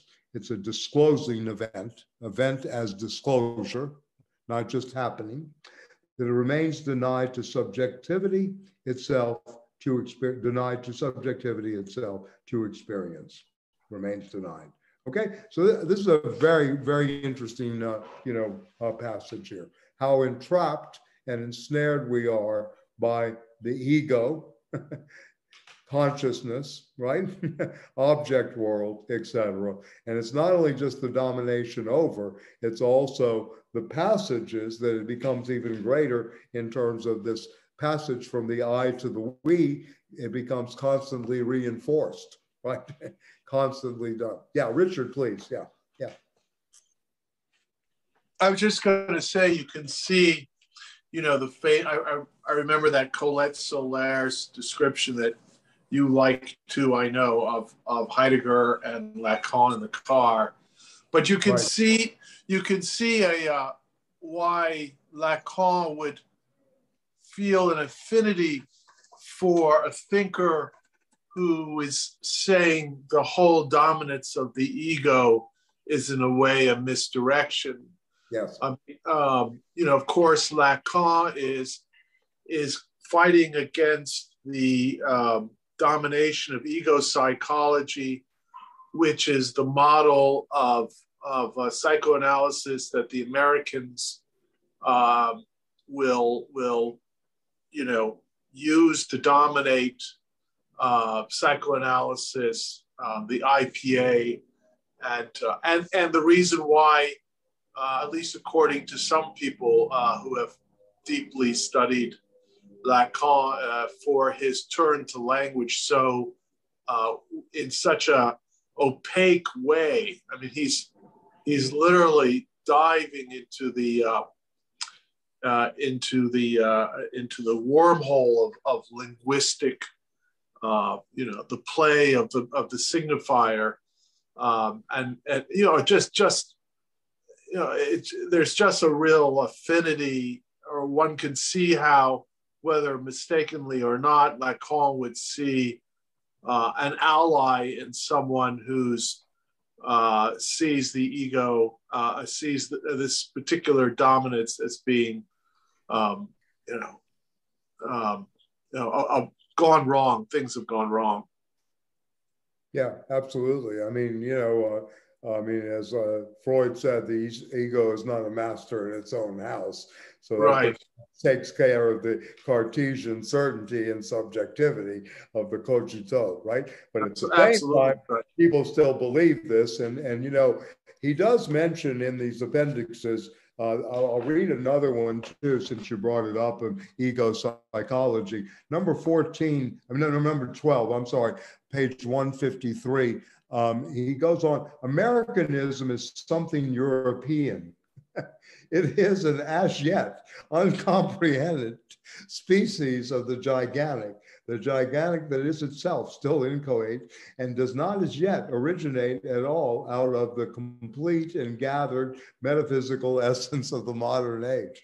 So America is an underde- underdeveloped giganticism in some ways to Heidegger. This is 1938. The American interpretation of Americanism by means of pragmatism still remains outside the metaphysical realm. So this is a kind of interesting approach to Americanism, and and uh, I guess some of you know. Listen, I I, uh, uh, uh I, I haven't returned to John Dewey, but anyway, I was thinking of Dewey a lot because we have about you know 20 uh, books of Dewey from Stanley's library, and I, have never been a big fan. But Dewey went to work with you know went to uh, Germany to study philosophy right? Dewey is no thought. And he wrote a book called Experience in Nature, which he thought was the American being in time, or better than being in time. He would, he would talk about this. So this is kind of interesting that he would go on the means of pragmatism outside the metaphysical realm, in a sense, right? That Americanism has not even grown up yet, right? In a sense of this giganticism in many ways. And I mean, this may be, you know, an interesting way of approaching where we are while we have such leaders. You know, there are a lot of fools in Europe, but at the same time, you know, we're going to have uh, many more fools on the American political stage coming up uh, very, very shortly, uh, you know, and maybe the return of, uh, you know, Donald or Donald Jr., maybe even this time around, who knows you know, what we're going to be getting. I, I know it's going to be horrifying. Yeah, Richard, you had your hand up again? Yeah, please. Yeah, yeah. Yeah, no, okay. But I mean, you know, this is about made in USA ego psychology as well, Heidegger's version of it, if you will. You know, this kind of attack on the philosophical moment of pragmatism and, uh, you know, what, what it might mean and its undeveloped, underdeveloped uh, uh, notions. Um, yeah. So um, anyway, uh, yeah, great section, uh, uh, Josh. I mean, uh, all the sections are good representation, but this gives you a notion of, you know, this whole thing of, of, of calculative rationality and, of course, dominance, uh, you know, of, um, of, of, of nature in many ways. And they're not discussing this at COP26 that this is a part, you know, uh, whatever that stupid, uh, moronic uh, lobbying conference is, uh, you know, that's going on about climate change. You know, that, that, John Kerry will erase history for us. Can you imagine? Yeah, yeah. Anyway, you know, you, you can kick him out of Massachusetts, Patrick. Uh, John Kerry, uh, you know, another clown on the boat. you know, yeah. Mm. Yeah. So yeah, Carl, you wanted to say oh, something? Oh, just yeah. I mean, just just the way you phrased that, it was a good summary of why I, when I was reading this, you know, it made me think of some of the Frankfurt School and their critique of instrumental domination. And yes, absolutely. Yeah. It seems like this is very much out of that same. Yeah, I mean, look, these are people that grew, sort of grew up together. They were antagonistic, right, in a way. Heidegger was a little older. Heidegger had a lot of students, right, that were really going to his lectures. I mean, if you want to frame it in terms of a, you know, anecdotes uh, in, in, a way. And, the, you know, the Frankfurt School, you know, uh, borrowed a lot. I mean, to me, the Frankfurt School is a combination. I mean, more, certainly Lukács is absolutely crucial to, uh, to uh, the Frankfurt School, history and class consciousness, and even the theory of the novel to Benjamin, you know, if you will, uh, very, very crucial as background. At the same time, Heidegger's deconstruction of Western metaphysics and his anti-epistemology, anti-Cartesian epistemology is very important, you know, to the Frankfurt School. And, you know, and he kind of laid the groundwork in many ways, you know, even though they may have taken it in different ways. You know, Heidegger never studied culture, industry, or propaganda or, or, whatever. I mean, he understood these things, I'm sure, but he never really wrote books about it. He was more interested in working through the history of philosophy. You know, Adorno, Horkheimer, you know, and others. This was not their interest in their lectures, even though Adorno, and these are all worth reading. I've, I've, I've uh, read two of them very seriously and perused three or four others. His lectures given in Germany, in Berlin, after the war. They are very accessible. His work on Kant's critique, I recommend highly. And I also recommend, of course, the lectures on dialectics, right? And the lectures on the negative dialectics as well. So yeah, so these are these are ways, you know, and you know he mentions Heidegger often, and you know in, in some ways Heidegger becomes a kind of straw man, if you will, for Adorno. You know, helps prompt a lot of thinking, and plays off of that. So you know, again, it's interesting to open this up. But what I'd like us to get, I mean, one reason to to, to read this is to see this step by step deconstruction and how valuable it can really be in terms of our own time you know, what do we do? As Dennis Bro was talking about big pharma, you know, we're talking about addictogenic societies. You know, we'll see this in Stiegler later.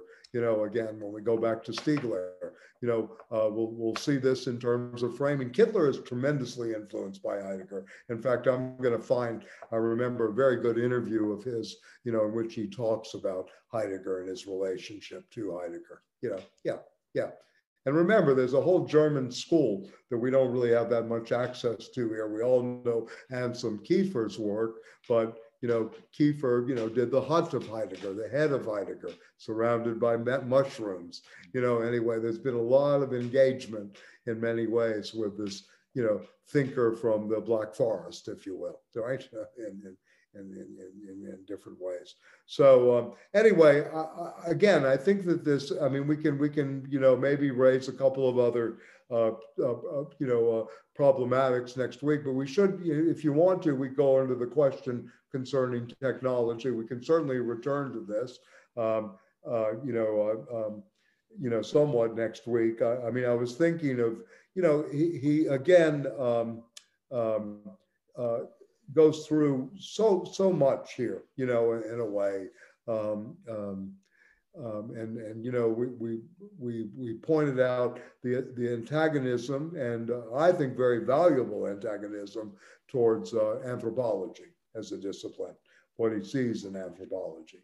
And again, I mentioned to you, and, and this is again in the Polt edition, you know, the reading of Antigone is is phenomenal, you know, uh, in terms of a critique of the anthropomorphic uh, nature of uh, modern modern thinking, thinking, right?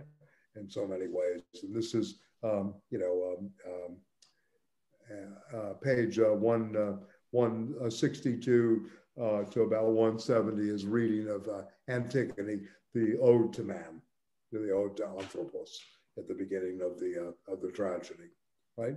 And this is where he tries to reconcile again Parmenides and uh, Heraclitus in a unity of structure, you know, which is interesting too, you know, where he's really trying to bring them together. Yeah. Just, just but, one other thing yeah, that sure. Be like very um, interested in what other people think about this is this is kind of going back to page 118 where you know he talks about you know this he's talking about the metaphysics and then the, the notion of the fixed ground plan and how that is you know a projection that sort of is it in advance that exists in advance of actual knowing. And then uh, later down on that page he talks about modern physics is mathematical because in a remarkable way it makes use of a speci quite specific mathematics but it can proceed mathematically in this way only because, in a deeper sense, it is already mathematical. I thought that was very interesting, you know, that, that he, and, and what that implies about how, I mean, it seems like there's a critique of knowledge or a critique of epistemology there that's quite profound and, you know, reappears, you know, it's, it's like his critique of Cartesianism and representation And this is sort of like him actually applying it to an understanding of modern physics. And I, I just I just found that very interesting what what it, that seems mm-hmm. to imply, you know, mm-hmm. about how, how he's thinking about how we constitute the world, I guess. I don't know if I agree with it, but but it's interesting. Right, but I mean, you know, to go a little further here, and I, I think, you know, Patrick raised, uh, you know, the, the whole thing of the natural sciences, right? There is a, there is a, obviously critique of the fixed ground plan in this regard, right? He is really trying to overcome that, and and you know, both through understanding, but also through a, again a, step-by-step de deconstruction. If you look at page, uh, you know, going back to the beginning of the essay, page 120, science becomes research through the projected plan and the, through the securing of that, that plan and the rigor of procedure. And I think this is very important to what you're addressing here. He's kind of summing up. Procedure and rigor, however, first develop into what they are in methodology. So again, this methodology used in the sciences, how we go about this, very little texts uh, uh, in terms of uh, reportage on the pandemic have really gone into the methodology of vaccines and you know where we are, et cetera. The latter, the methodology, constitutes the second essential characteristic of research. If the sphere that is projected is to become objective, then it is a matter of bringing it to encounter, right? He's really talking about how one frames the object world and how something becomes objective, right? Bringing it to encounter us in the complete diversity of its levels, right? Of and interweavings.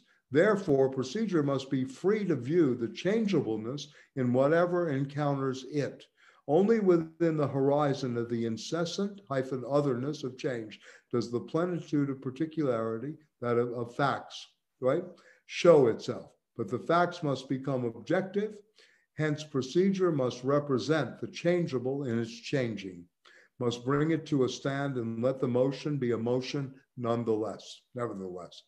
The fixedness of fact, fixedness of facts and the constantness of their change as such is rule right? The constancy of change and the necessity of its course is law, right?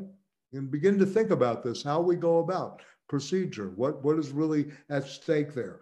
It is only within the purview of rule and law that facts become clear as the facts that they are.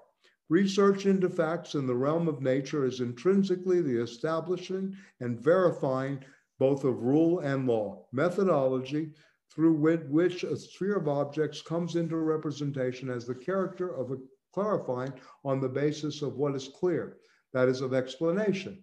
Explanation, here you go, is always twofold. It accounts for an unknown by means of a known, right? And at the same time, it verifies that known by means of that unknown. Explanation takes place in investigation. In the physical sciences, investigation takes place by means of experiment, always according to the kind of the field of investigation and according to the type of explanation aimed at. But physical science does not first become research through experiment. Rather, on the contrary, experiment first becomes possible when and only where the knowledge of nature has been transformed into research. Only because modern physics is a physics that is essentially mathematical can it be experimental?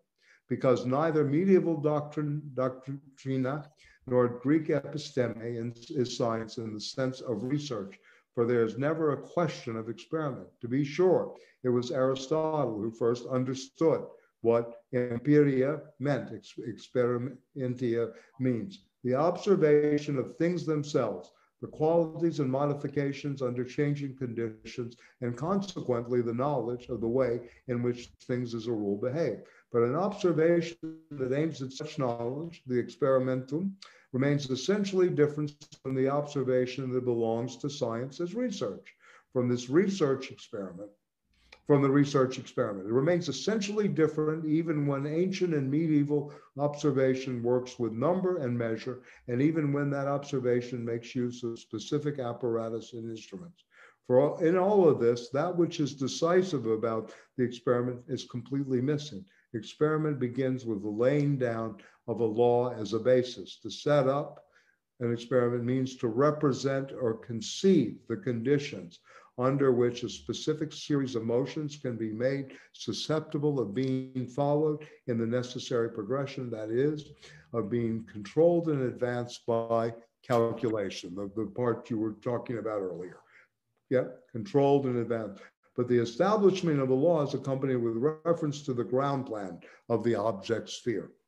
That ground plan furnishes a criterion and constraints on the anticipatory representing of the conditions. Such representation in and through which the experiment begins is no random imagining. That's why Newton said the bases that are laid down are not arbitrarily invented. They're developed out of the ground plan of nature and sketched into it. Experiment is that methodology which, in its planning and execution, supported and guided on the basis of the fundamental law. I won't go on, but I think you get the point here. Again, the difference. Yeah, Richard. Yeah, yeah. No, I just you know what resonates for me is having looked um, a little, spent a little time looking at the Greek for um, ex, um, experiment, which Heidegger raises, is that in the Greek you have a sense of, you know, of really being out there. That experiment has a sense of um, of a kind of, I mean, what he seems to be setting up here is it's almost as if you avoid you're avoiding a certain kind of uh, uh, of uh, encounter. You know, you, you're, you're pre you're pre uh, planning yeah. Uh, in a certain way that to avoid some kind of uh, um, experience that the experiment needs in the Greek. You know, there's a uh, there's something so prophylactic in the right. way that Heidegger describes system here.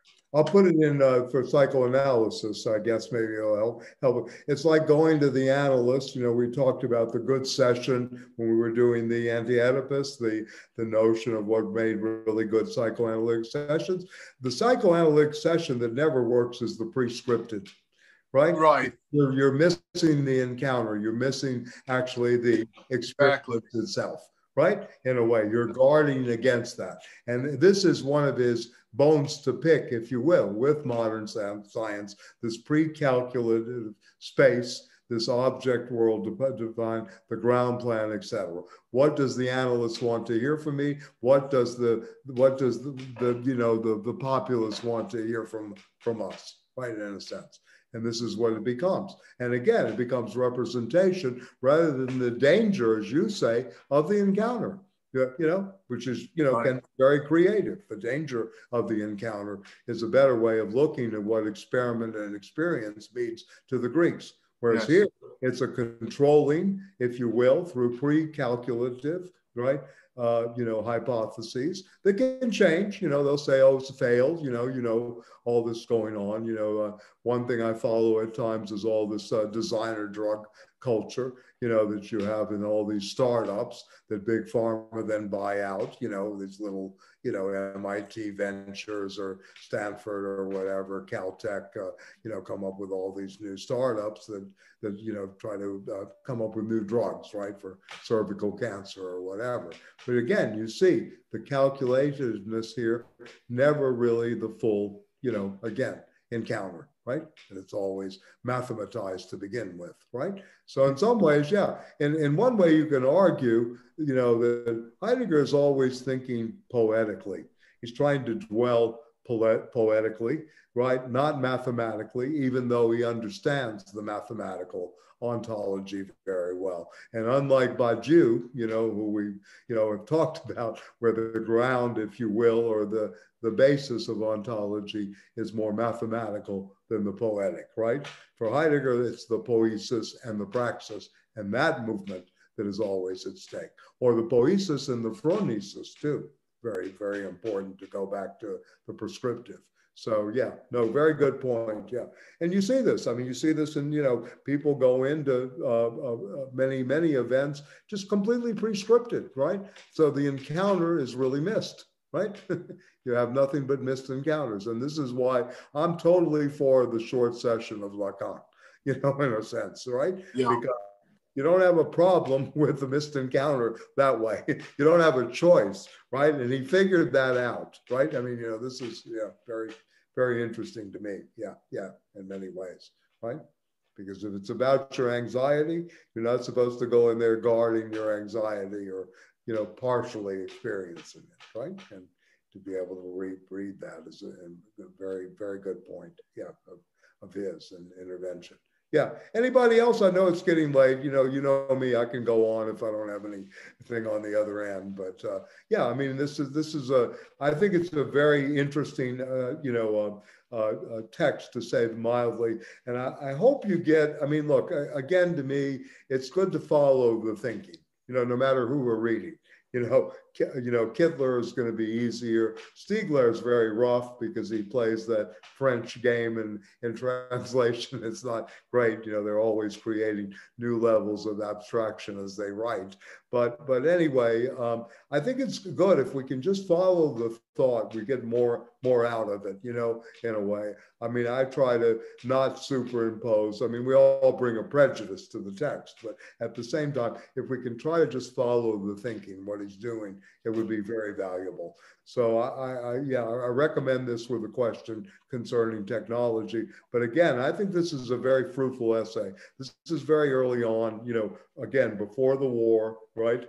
Before the advent of the domination of cybernetics, cybernetics is, is happening, but not to the level it does. It picks up after the, the construction. You know, I, I don't know, there's, there, uh, there's a very good text on the construction of the social sciences. It was brought to you by Wiener, Bateson, right? These people after World War II, Lawrence Kubie, uh, psychoanalyst in Baltimore, um, you know, many others. They they put together these projects that were very much about social control through communication theories. Yeah, so this is, uh, you know, again, a very interesting thing. And Heidegger saw this as an enemy. He really did see cybernetics. He did not like the idea of translation machines. He hated that. He hated, you know, this kind of automated learning. He would be totally against this Zoom culture. I know that. You know, I can see him screaming in the Black Forest or taking the walk with you know, the cane and hitting the you know, ground or something, right? So, uh, but anyway, um, all to say, it's it's interesting. Yeah, yeah, yeah. Yeah, it's one of the things. Just yeah. like when we uh, reconvene, you know, that I would, if other, his language is so interesting. Yes and I, I sometimes feel like we could just you know slow down a little bit and almost just yeah, like sure. some of the sentences and try and unpack. Yeah.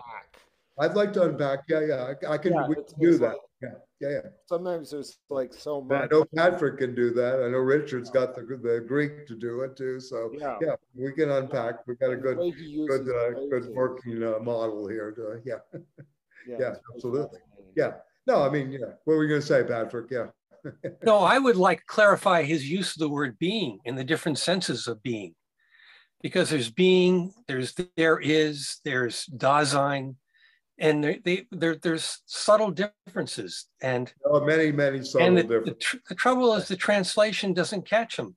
You know, no, it does. There's Sein, Seiendes, Dasein, yeah. Das, das, yeah, right. Yeah. Very, very, Dasein analytic. There's ex, and then there's existentials, mm-hmm. existentialia. This is a very, again, a very creative uh, project of neologisms, and at the same time, you know, a very creative effort here, right? Yeah. So, yeah, yeah. Absolutely. Yeah, I, I found a, a PDF of, of the, the in German, and I've, I've been going through it, and trying to follow some of that, but it's it's just it's just confusing. So you're reading Sein und Zeit in German or this German? No, no, no. This essay. Oh, yeah. this essay. Yeah, yeah. yeah. Well, no, no, I'm not reading it. I'm the, uh, following the, in English and checking. You know, it's like you know, I go back and forth. It's yeah, yeah. Well, the the Zeit is time. It's not the age. Oh no, I got yeah. That's easy. Yeah. Time, time of the the world picture, right? And Welt and, and picture again. It's really world imaging right in a way is a better translation too. Because what about a relationship with Weltanschauung? Well, he, he worldview, and he's juxtaposing the two. Yes, He is, he is, but at the same time, he's he has an argument against that too. Oh yeah, unpacking the, the, psychology of worldviews, which he got into a big argument with Karl Jaspers about that. He wrote a, a, a thing on the philosophy of the worldviews. He wrote a long essay about this is not the way to think, right? In a sense, uh-huh. because it leads to historicism, and he was very much against historicism. He saw a consequence of worldview thinking ending up in historicism, right? Yeah. And that comes through in this essay, because in a way it acts as a kind of foil. Right, right. Yes, absolutely. Yeah, yeah. What, what do you mean by historicism in, in that in this context? Well, you form a worldview in, in, in the context of the immediate or the imminent time you're living, and it, it, it, it, it sticks you in that. You know, you, you lose your, what Heidegger would call your historical character, your historical sending. Yeah. It takes away from any kind of epochal thinking, or, you know, it takes away from the possibility of overcoming uh, metaphysics. One becomes limited through this. I right? see. Okay. Yeah, yeah, yeah. Well, one so, thing I found just this is something he uh, lecture he gave much later, but I was it, I was looking for sort of uh, he he did a lecture called Time and Being. Well, that I was going to go there after we finish the technology piece. Yeah. You know, talk a little bit about the reversal. This was a, a very crucial point. You know that Heidegger, you know, reversed the order, right? It was no longer the question of being; it was the question of time. Right. But it, it helped right. me understand some of what yeah. you know grappling like this this underlying problem that he's so perturbed right. by. I mean, he's obviously, you know, this is his life work of trying to. Well, he makes distinctions between temporality, you know, uh, time. you know, there, there are many, many again levels. This, I mean, again, the the you know, uh, uh, we did. Uh, uh, Phil was there. Who else? Uh, David, I think, uh, was there. Sean was certainly there. I think Chris Miller came. We did about 21 se- sessions on being in time. You know, so we we we did this about five six years ago. You know, we went through it line by line. You know, most it was all in person. I think it's up on YouTube. I, I thought it was, you know, in, in, retrospect, pretty damn good, especially, you know, the, the, the sections and introducing the text and then some of the crucial areas of it, you know, and uh, I, uh, you know, uh, um, yeah, I thought I thought it was pretty good. So there's about 60 hours, you know, on that. You know, Hubert Dreyfus has done work on that in English too. Uh, you know, I don't know about any other, you know, straightforward commentaries, but all to say, you know, he, he's obviously the thinker of, you know, his one thought is to think by being, right? And, you know, uh, for Nietzsche, being was an empty fiction, right? And, you know, uh, I know a professor of mine uh, went to see Heidegger and asked him if being was God, right? you know, and Heidegger was completely silent. And maybe being is complete silence. I, I don't know, you know, how we would ultimately define being. Uh, but I mean, to think of being right uh, again uh, uh, is really his his uh, one his one project under the horizon of time. In the end, the reversal that you referred to is to is to um, is to um, is to think time right as the, the horizon and sometimes the being is no longer there in the horizon. Right? He has he has this great uh, what, what is it? Let, let me just, uh, being is determined as presence by time. Right, right. Being is right. determined as presence by time. Right. So those, yes, it's it's kind of a yeah, very interesting essay, and it's short. you like the shortness, huh? Yeah. Okay. Well, you know, I don't have time. These, these are multiple steps that you're both uh, descending yeah. and ascending with yes. And well, being in time, I'd like to read it, but not. Let me, let me just say this. I know Josh left, but number nine is is absolutely crucial that he that he pointed out to read. I also say number eight is crucial on the sophist, you know, in the appendix. You know, we didn't have really time to go there. We'll be here till 10:30 if I if I start on that. So anyway, uh, thank you, Beryl. Good to see you. Uh, anyway, um, the, the sophist to the impossibility of subjectivism and sophism. So this is a very important uh, uh, appendix too. And maybe we can start there and then make the transition into, uh, into um, the, um, the, uh, on the essence of technology. I'll talk to Matt for a second afterwards. I wanted to figure out how to put up some notes and, uh, you know, the reading and some of the crucial terms too. Okay, thank you, David. Yeah, good. Oh, David, before you go, I'm sorry. Uh, I, I, you know, this thing for Stanley. Uh, excuse me for just a second, everybody else. Uh, the thing for Stanley on on um, on uh, Friday, uh, I, I, I was able to negotiate an open space for students to speak about Stanley if you if you wanted to participate. We're, we're taking maybe about 10 to 12 key people that we thought were very, you know, close to Stanley and had followed his work, and you know, will probably continue, you know, uh, you know, uh, being quote influenced or whatever. so, uh, would you be interested? I will put your name on the list. It would be from three, uh, I think, three to four on Friday if you're available. Right. I, am definitely available. Would be very okay, happy. Okay. Okay. So yeah, I'm gonna I'm gonna do that. Yeah. Yeah. Yeah. Yeah. Cool. Okay. okay. Thanks All for right. thinking me, Michael. Yeah. Okay. No, no problem. I just wanted to let you know. Yeah. Good. Awesome. Thank you. I'll see you Friday. Oh yeah, definitely. Yeah, yeah, yeah. And I they have 1,200 people that have signed up. So oh wow, nice. 1,200 people are going to show up, but you know, uh, you know, 1,200 people have, have uh, you know, um, actually registered. So that is yeah. that is a yeah. big number for a one day symposium. Yeah, that is the yeah yeah. yeah. Wow. yeah. Cool. Anyway, okay. Great. We should have fun, I guess. Yeah, yeah. yeah. Okay. So, so what I'll what I'll do is uh, in, uh, uh, we can go over this. Also, I would like to talk uh, as well um, um about um, the use of uh, violence here. You know, Gewalt, how he defines violence. You know, in in history and his violence, and and and this is going to be good to um, uh, go forward. Um, uh, you know, towards Walter Benjamin, who, you know, plays on his own name in The Critique of Violence, a very beautiful essay that he wrote that's in the uh, volume called, uh, I think, Reflections, and as well as in the collected works. But I'll, I'll, speak to that when we get to him. Okay, and let me just say this, uh, you know, he did give a lecture, a winter seminar on the concept of nature, history, and the state. And this is where I got the notion of the erotic urge for the state. He thought of the, the political as an erotic space, right? Yeah. And uh, yeah. And again, to go back to where we began, this whole flirtation and, and more than a flirtation, I'm being very kind, uh, you know, to National Socialism, you know, he always envisioned very early in 33, 34, the, the, uh, the Plato's guardians, the philosopher king.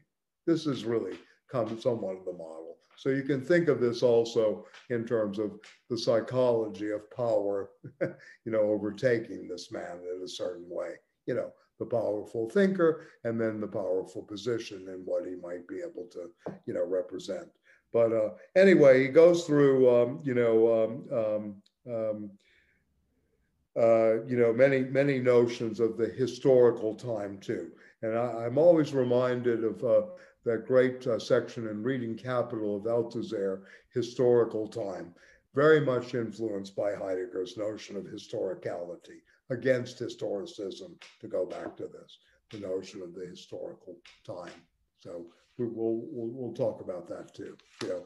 So uh, yeah, and I, am you know, and, and again, um, um, the project, Carl, in, in some ways for Heidegger, is to really think with the Greeks again you know, this is very clear, you know, in terms of his project, but it's to think in German with the Greeks. The French don't begin to think until they think in German. He said this publicly. He was a very old man. When he wasn't as arrogant as he was as a young man, but he said this. The French don't begin to think until they think in German. Right. This is in a Der Spiegel uh, interview in 1966. French don't begin to think until they think in German. So you can imagine, you know, the French philosophers on this one. Yeah, yeah, yeah. Anyway. they all, all they all rush like Patrick back to the German text. anyway, no, no, no, yeah. All right. So, uh, any other uh, comments? I mean, like I said, I'm, I'm here. I mean, I, I, I hope this is, uh, you know, fruitful. I mean, I, I hope, uh, you know, it, it, opens up some pathways for us. Yeah, yeah, yeah. And uh, yeah, good. And Chris, thank you. I got your mail today. Yeah, what's that, Carl? I'm sorry. Oh, just in a personal way, you know, I, I I studied philosophy as an undergraduate, and you know that was late 80s, early 90s when deconstruction was all the rage and the French had been imported into the academy. It's fascinating to read some of this stuff and see where it all came from in some way. Right. Right. It's like sometimes I feel like I'm, you know, reading the original text and everything else is just kind of a footnote. To, you know, it's true. What the academy did, to, to my mind, is really destroy, decontextualize, and also destroy the thinking itself and the use and, and so many secondary and primers were used and didn't really get to the depth or the you know the richness of the primary text yeah. and this is something really worth worth thinking about you know yeah going forward and many careers were built on this as we yeah. know yeah. you know it was a it was a machine you know in a way and a lot of jargon this was the horrible part about it. You know, I, I really respect the fact that, you know, Patrick here, who has a background, you know, can cut through the jargon and see what's going on back to the Dilthey's or the natural sciences, you know, empathy and understanding and all this. Yeah, very few people that were able to do this or et cetera. I'll tell you a story. I mean, this is anecdotal again, but a story about a good friend of mine who was a Faulkner scholar and he was going out with a, a very, um, you know, um, um, star kind of literary critic, you know, at the time, University of Texas, Austin. And uh, they were discussing Joseph Conrad and they were discussing Heart of Darkness. And uh, they were having this long conversation. And then he said, Do you remember this part in the novel? He says to his partner. And she says, Oh, no, I, I never read the, the novella. Yeah. She just knew the theory. She yeah. just read the literary criticism around it. And the conversation would go on on that level. But once it came to the primary text, forget it. Yeah. Mm-hmm. Yeah. So, anyway, yeah. The representation. yeah. It just, sorry? The representation. Yes, absolutely. Representation of representation. right. Yeah. Yeah. Yeah. Yeah. Well, that used to really piss me off, you know, when I got to graduate school about, you know, people's responses to Marx because they had all these ideas about Marx that you know was a totalizing theory that you know, and they had never read jack shit. I mean, it was right. obvious they had never really read it, and right. yeah, so yeah, no, this is great. It's actually really good. good. Yeah, well, good. Yeah, well, we're reading two two primary essays that really regard, you know, the question of technology, really about, you know, technology and, you know, how he he frames technology ultimately you know, as as it's become technique and it's become more technics than techne, right? And that it is not, and we're going to go back to this notion of danger and unconcealment. And the closer we are to the danger, the more possibility for liberation. But we'll we'll we'll talk about this when we we get there.